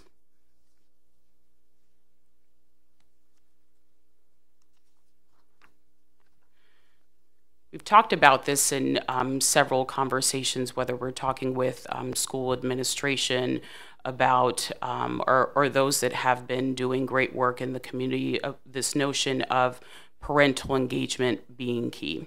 Um, and so, parental, I, I have a note here that says Latino parents care about their children's education, yet they do not become involved in their schools, and culture may indicate what it means for parents to be involved. And I think a, a, partial explanation to that paradox may be the obstacles encountered by Latino parents. So, language barrier, a lack of understanding, a lack of trust, the operation of the school, and in some instances, lack of education themselves. There's also um, research um, in the Latino community and, looking at this issue of parental engagement and, and the challenge that it can, can become beyond just the language barrier. Is this notion that within the culture, um, the Latino culture, there's a high regard and respect for teachers and understanding um, that they are the experts.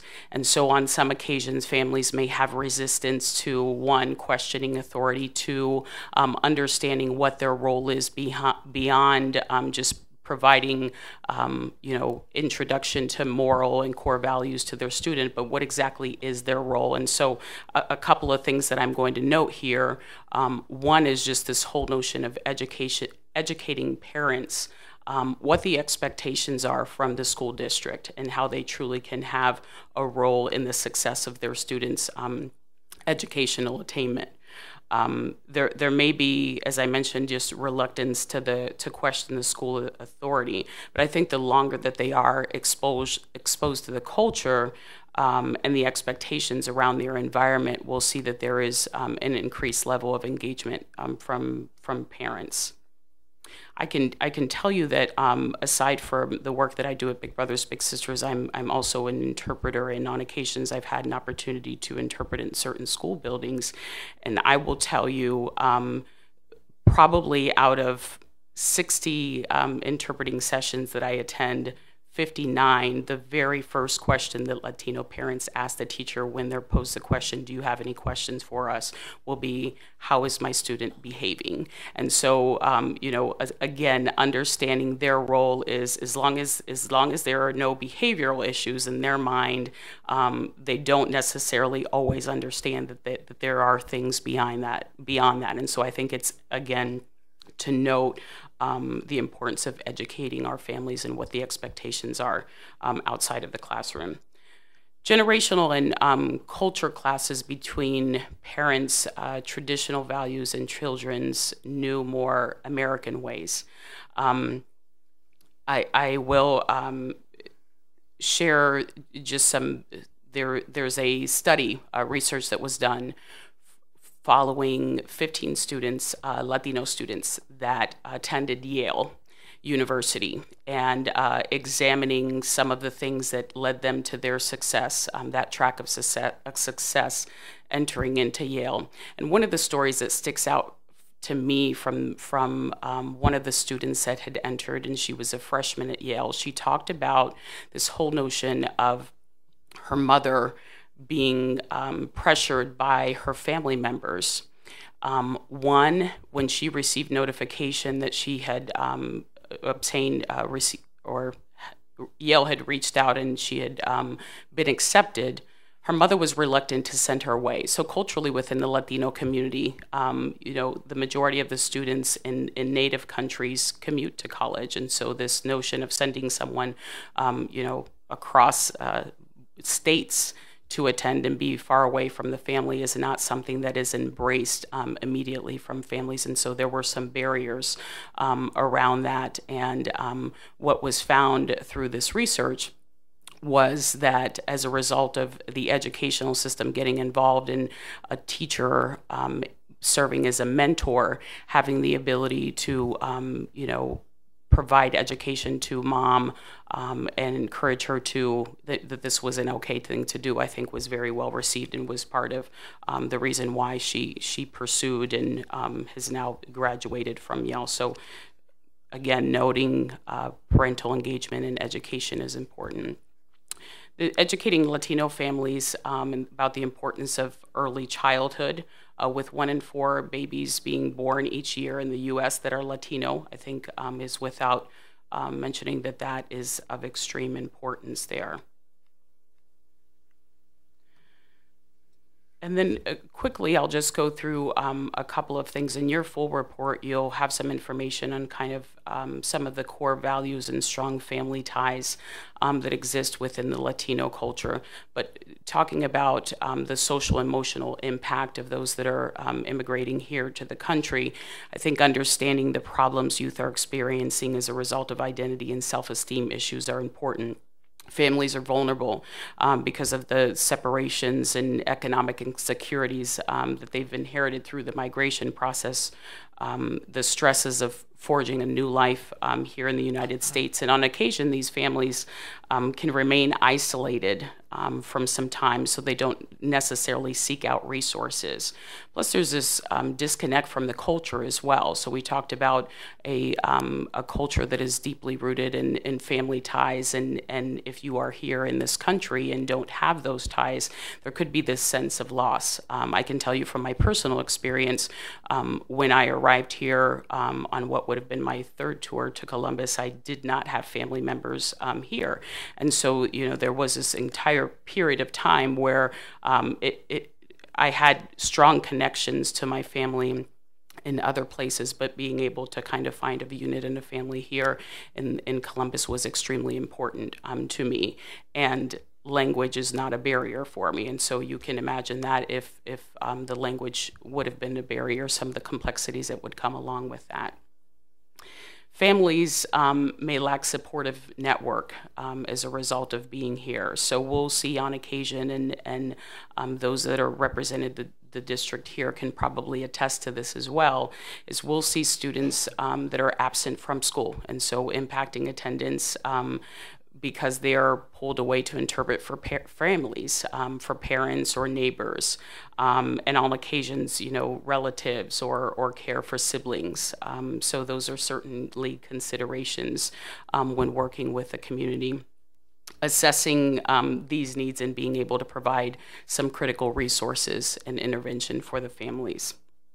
And then the importance of establishing strategic partnership with grassroots organizations, community organizations, faith-based communities, and, and, businesses that have done work in the space of, of integrating the Latino community um, and have gained trust of the community um, and can help support some of the efforts of, of the educational community as well. And um, lastly, I will um, also talk about and, and don't mean to um, glaze over this topic because I know that is you know certainly a topic of, of interest and, and both controversy as well is this whole, whole notion that we have um, an estimated 65,000 undocumented students in this country um, that are are born abroad. Um, they're not U.S. citizens. They're not legal residents, but they graduate from our U.S. Um, high schools each year. And um, many of those students um, don't have um, opportunities to pursue further education um, and when they do, there are certainly barriers um, in place for them. And many of these students are graduating top of their classes. Um, many of these students are, are performing very well academically. And so I think those are, are as I mentioned earlier, considerations as we're having um, these conversations. Thank you. Um, I think we're probably past our scheduled time, but in the effort of answering any questions that the commission may have, if you have any questions for the panelists.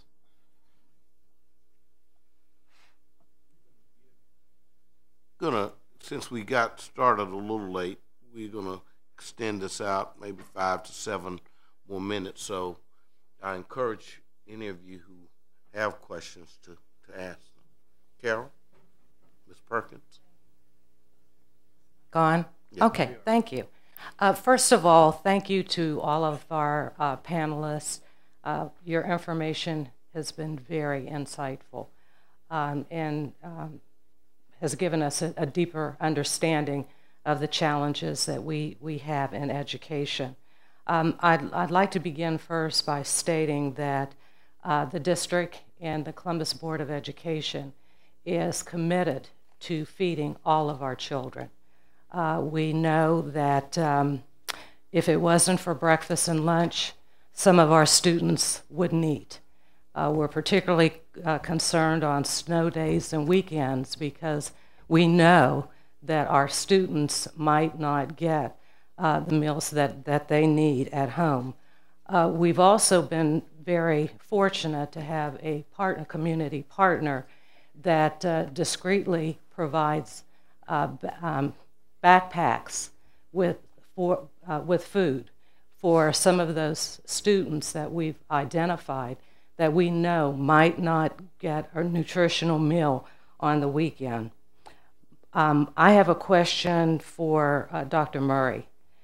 Um, do you have information in terms of how charter schools and non public schools deal with providing um, meals for their students, and particularly those uh, that are in poverty? That's an excellent question, and I don't know. And I'm, I'm not sure it's easily tracked. A number of the schools participate um, in their communities with the public schools and sometimes even get food from the public schools. They work out a, a financial arrangement when you look around the country. A number of other ones are independent so you see not just charter schools, but religious schools and other things, and they don't follow the USDA guidelines. And one of the points I want to make is when you look back from 1995 until 2012, um, school meals, both breakfast and lunch, have increasingly moved toward the dietary guidelines, and they are really on the money now. The most recent changes were fantastic. A lot of schools if they're not part of the public school system, they are not participating in that. And so I, my guess is that for cost reasons, they may not be functioning at the same nutritional level, but I, I don't have any good data on it. May want to address that question, Ms. Perkins, and um, we can have some input uh, from Mark Real as well, because I know that he can answer that question with respect to some of the charters. Mary Lou? Um, thank you. Uh, in fact, many of the charter schools these days are serving both lunch and breakfast in schools. It's not universal, but um, and it and it depends on the charter school. I would say those that are connected to the larger charter school systems more often are than some of the really independent startup. Uh, but we do work with charter schools as well as public schools, and we do know a number of them are. Um, I would also just quickly point out that there is some data in your uh, handouts about breakfast programs uh, across uh, urban centers in Ohio as well as across all schools in Franklin County. These are all public schools. We do not have charter schools in here. Um, good news, bad news. Good news is that uh, Columbus is the second among all Franklin County schools in the percent of students that are receiving breakfast. Bad news is that number is at 55%, which means still, you know, um, almost 17,000 low-income students in the Columbus City schools are not eating breakfast. So we got, you know, we've got a lot of progress that has been made, and we've got more progress that could be made. I do commend uh, the schools for the things they have done and for being number two here in Franklin County. I think that's an excellent record. Okay. And I'm going to ask Mark Real to uh, supplement it. I can also tell you that I know that the KIPP school serves breakfast and lunch. The uh, statewide information uh, just supports what Ms. Langenhoff said. Uh, the other uh, part to note is that uh, many public charter schools do not have gymnasiums or outdoor play space because the codes are different. So, uh, but they, as Ms. Langenhoff said, I'm supporting what she said. And just one more comment. Um, charter schools as well as um, uh, Christian religious schools are eligible for the same federal subsidized programs for low-income students as public schools are. Those programs are universal regardless of the type of schools. Before we go on to our next question, I wanted to take a moment. Uh, this is probably a good time since you have the floor, Carolyn, asking questions to introduce three of our uh, Columbus City School Board members who were kind enough to visit with us today. And School Board Vice President, Ms. Shawna Gibbs.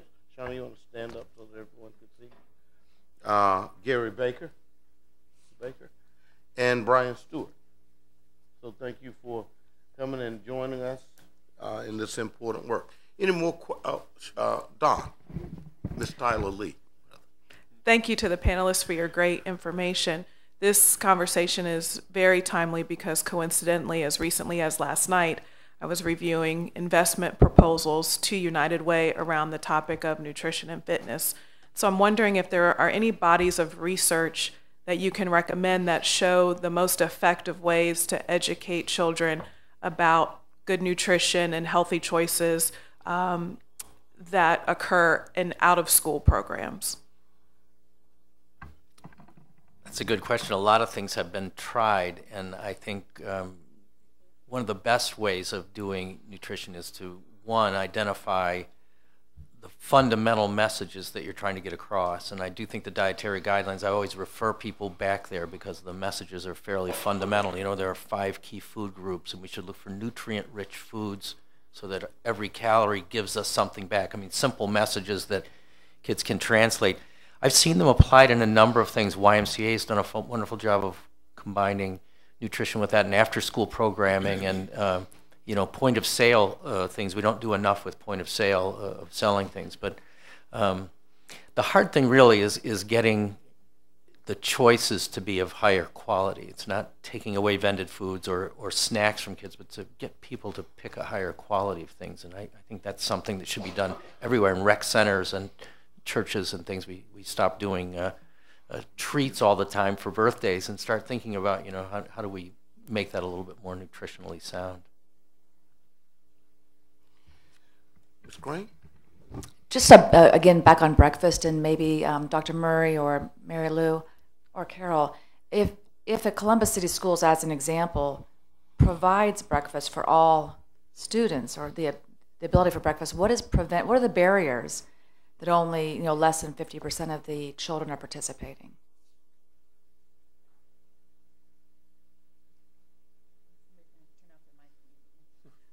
Um,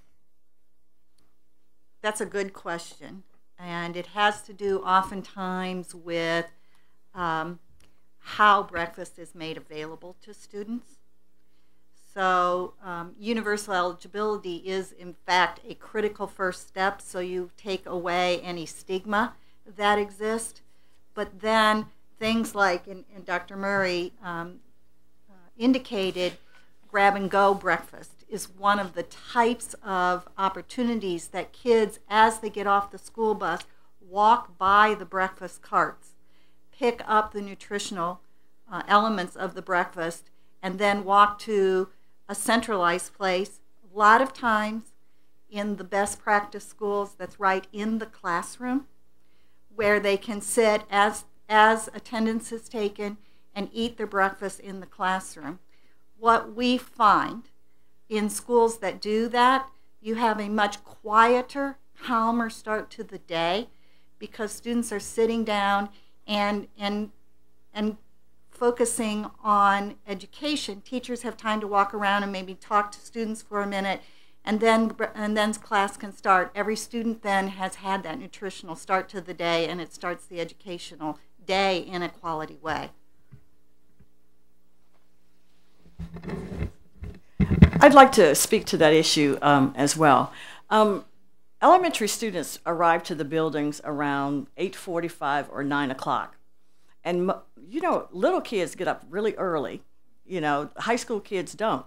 So when they're up at 7 o'clock, they've grabbed something in the house already to eat. And so oftentimes their appetite has been killed by junk that they've already had uh, in their homes. And when they get to schools, then oftentimes, even if it's provided, they don't eat. So that that's one of the issues, and that's what the the teachers say in the building that they just choose not to.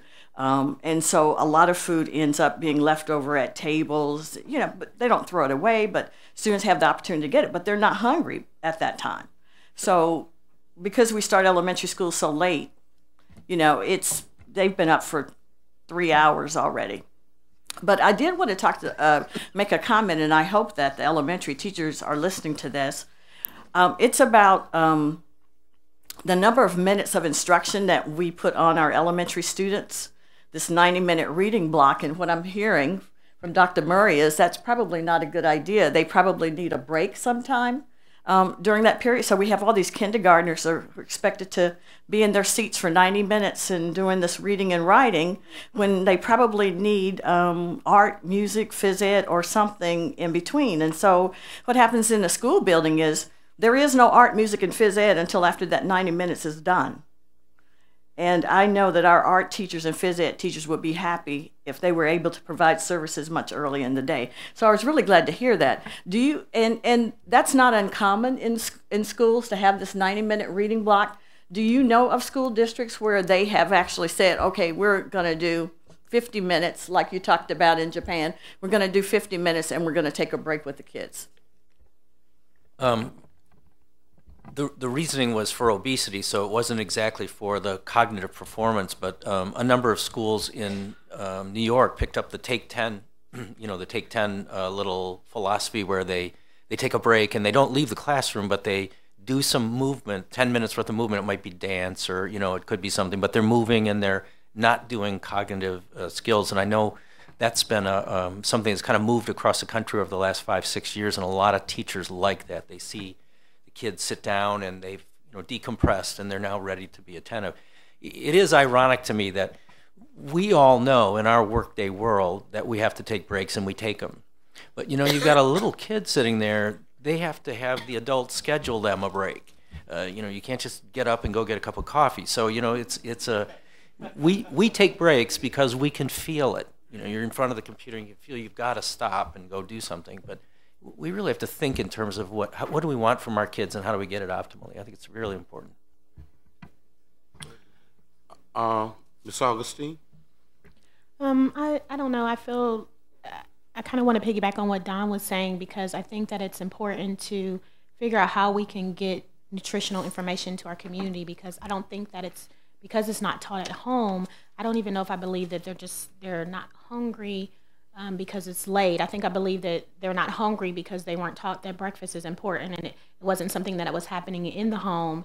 And so they're just used to, their bodies are just used to not getting it um, and not getting um, the nutrition that they need. So most of them are running around um, cellular starved because they're not getting the nutrition that they need and they're just used to that. So um, I, I guess I'm just trying to figure out how can we teach our communities that and because I think it needs to start in the family and then also, I, I also agree with the breaks because even in my home, I can't get anything about the school without starting with recess. It's, it's very important to them. And I think it kind of bothers me a little bit because, um, especially in our elementary school, why isn't learning fun? Why isn't it, you know, why is it that they're sitting there and it's the instruction um, is, is, is so, you know, let's sit still and pay attention and, and, and that they need that play break. But I think that it's important for us to figure out how can we add that into the curriculum where it is play also so it doesn't even feel like they're working. They're, they are playing the whole day while they're learning. I mean and i know i might be not be able to tell every teacher to do that. I wish i could but um, i just i think that a lot of the things that, that we're talking about today in regards to health and wellness it begins in the community and it's something that needs to be taught.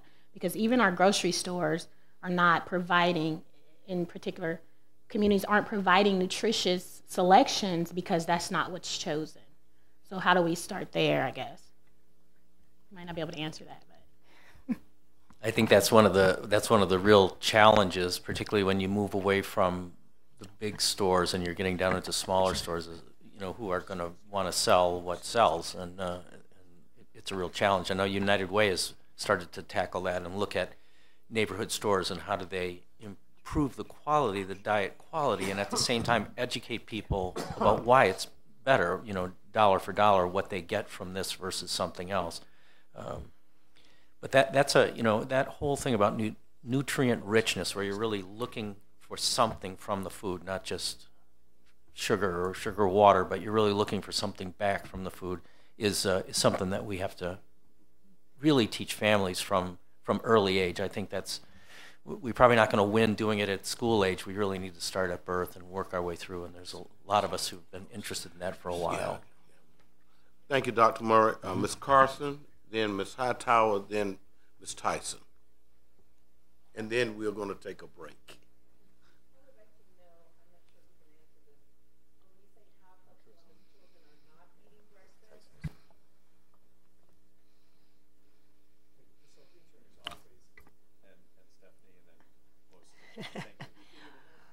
when we say half of Columbus children are not eating breakfast, have we surveyed them to determine that they're not eating breakfast at school, but maybe at home?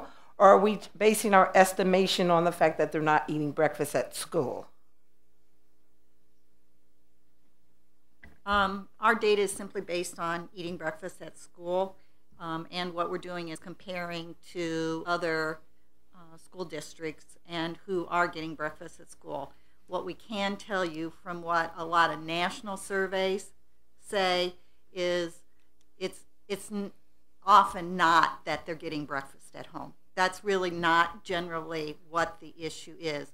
Now, you know, I, I think there is some of what uh, was stated of maybe grabbing something um, on the way to school, but that's that's generally not what the national uh, research shows us.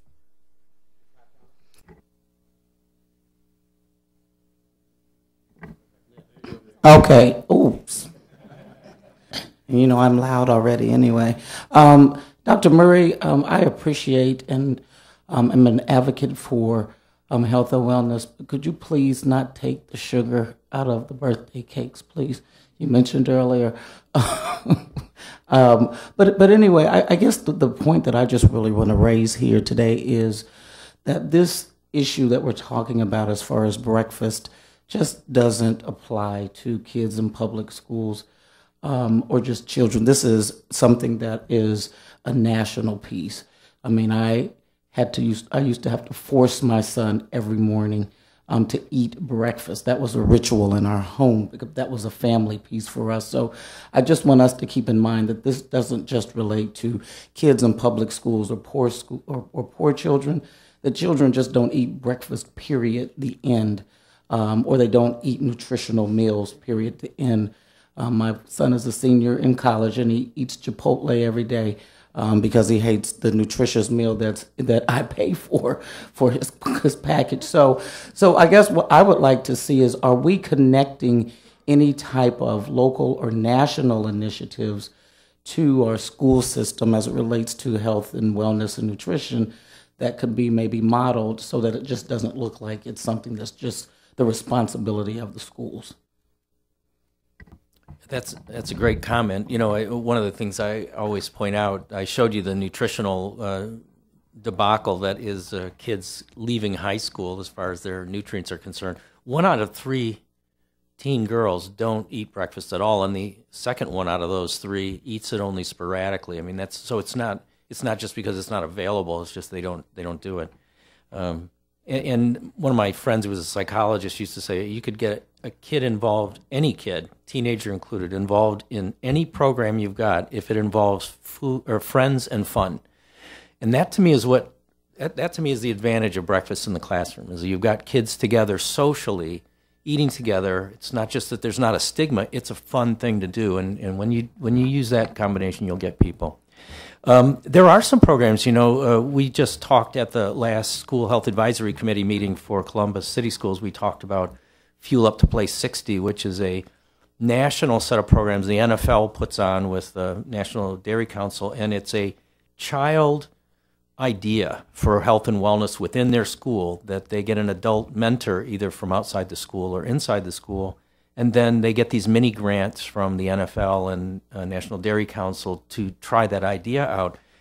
Um, and I've seen some unbelievable transformations in school from eight year old kids who just had some idea to either promote breakfast or get a salad bar, to do a, a walking club. I mean, little things. But from that little nidus, this crystal forms, and all of a sudden you have staff wellness and teachers are participating and stuff. So it, it doesn't have to be expensive, and I wanted to really stress that. We, we've got the tools and the programs, and they're not costly. We just need to really bring them to bear uh, on these kind of things. Last question from Ms. Tyson. Thank you. I don't really have a question, just really want to make a statement. First of all, thank you for all the presentations. I know that we spent a lot of time discussing um, the breakfast and the menu, which is quite important for a young person's health as well as adult health. But I also now want to just move to the presentation by Dr. Muhammad and Ms. Martinez. And just listening to the presentation today, just want to make sure that we realize that our community is changing. And um, they certainly have ex- expressed some of the needs that um, their particular communities need, as well as understanding that if we have over a hundred different languages spoken within this community, with the uh, majority of the increases being from the Somali and the Hispanic community, and these are individuals who, and we're talking about Columbus being, of course, we're a global city. We just, most of us were at the event yesterday about it being a global city, and so we need to make sure that um, that the issues that they have brought up, that we figure out a way to make sure that we are able to help to meet those needs, specifically around um, the English as a second language, and there not being, and right now, enough resources to be able to meet the needs of of this community. And so to think about the nonprofits, how we can support the school system, because we need to make sure that one, that individuals are speaking the English language, but also that we have individuals who are also being able to speak um, their languages, and so for so that all children are able to move forward, and we utilize with this their all the the wonderful attributes that these communities bring to help us to be this global city that um, that we are saying that we are and want to continue to strive to be. So, want to make sure that the proper funding is um, is given throughout this community to make sure that we can meet those needs. Thank you for that astute observation. I, I think that that concludes our questions. I want to thank the our panel for such a rich discussion. And we're going to stand in recess for about 10 minutes until 11:35. Move around. Move around.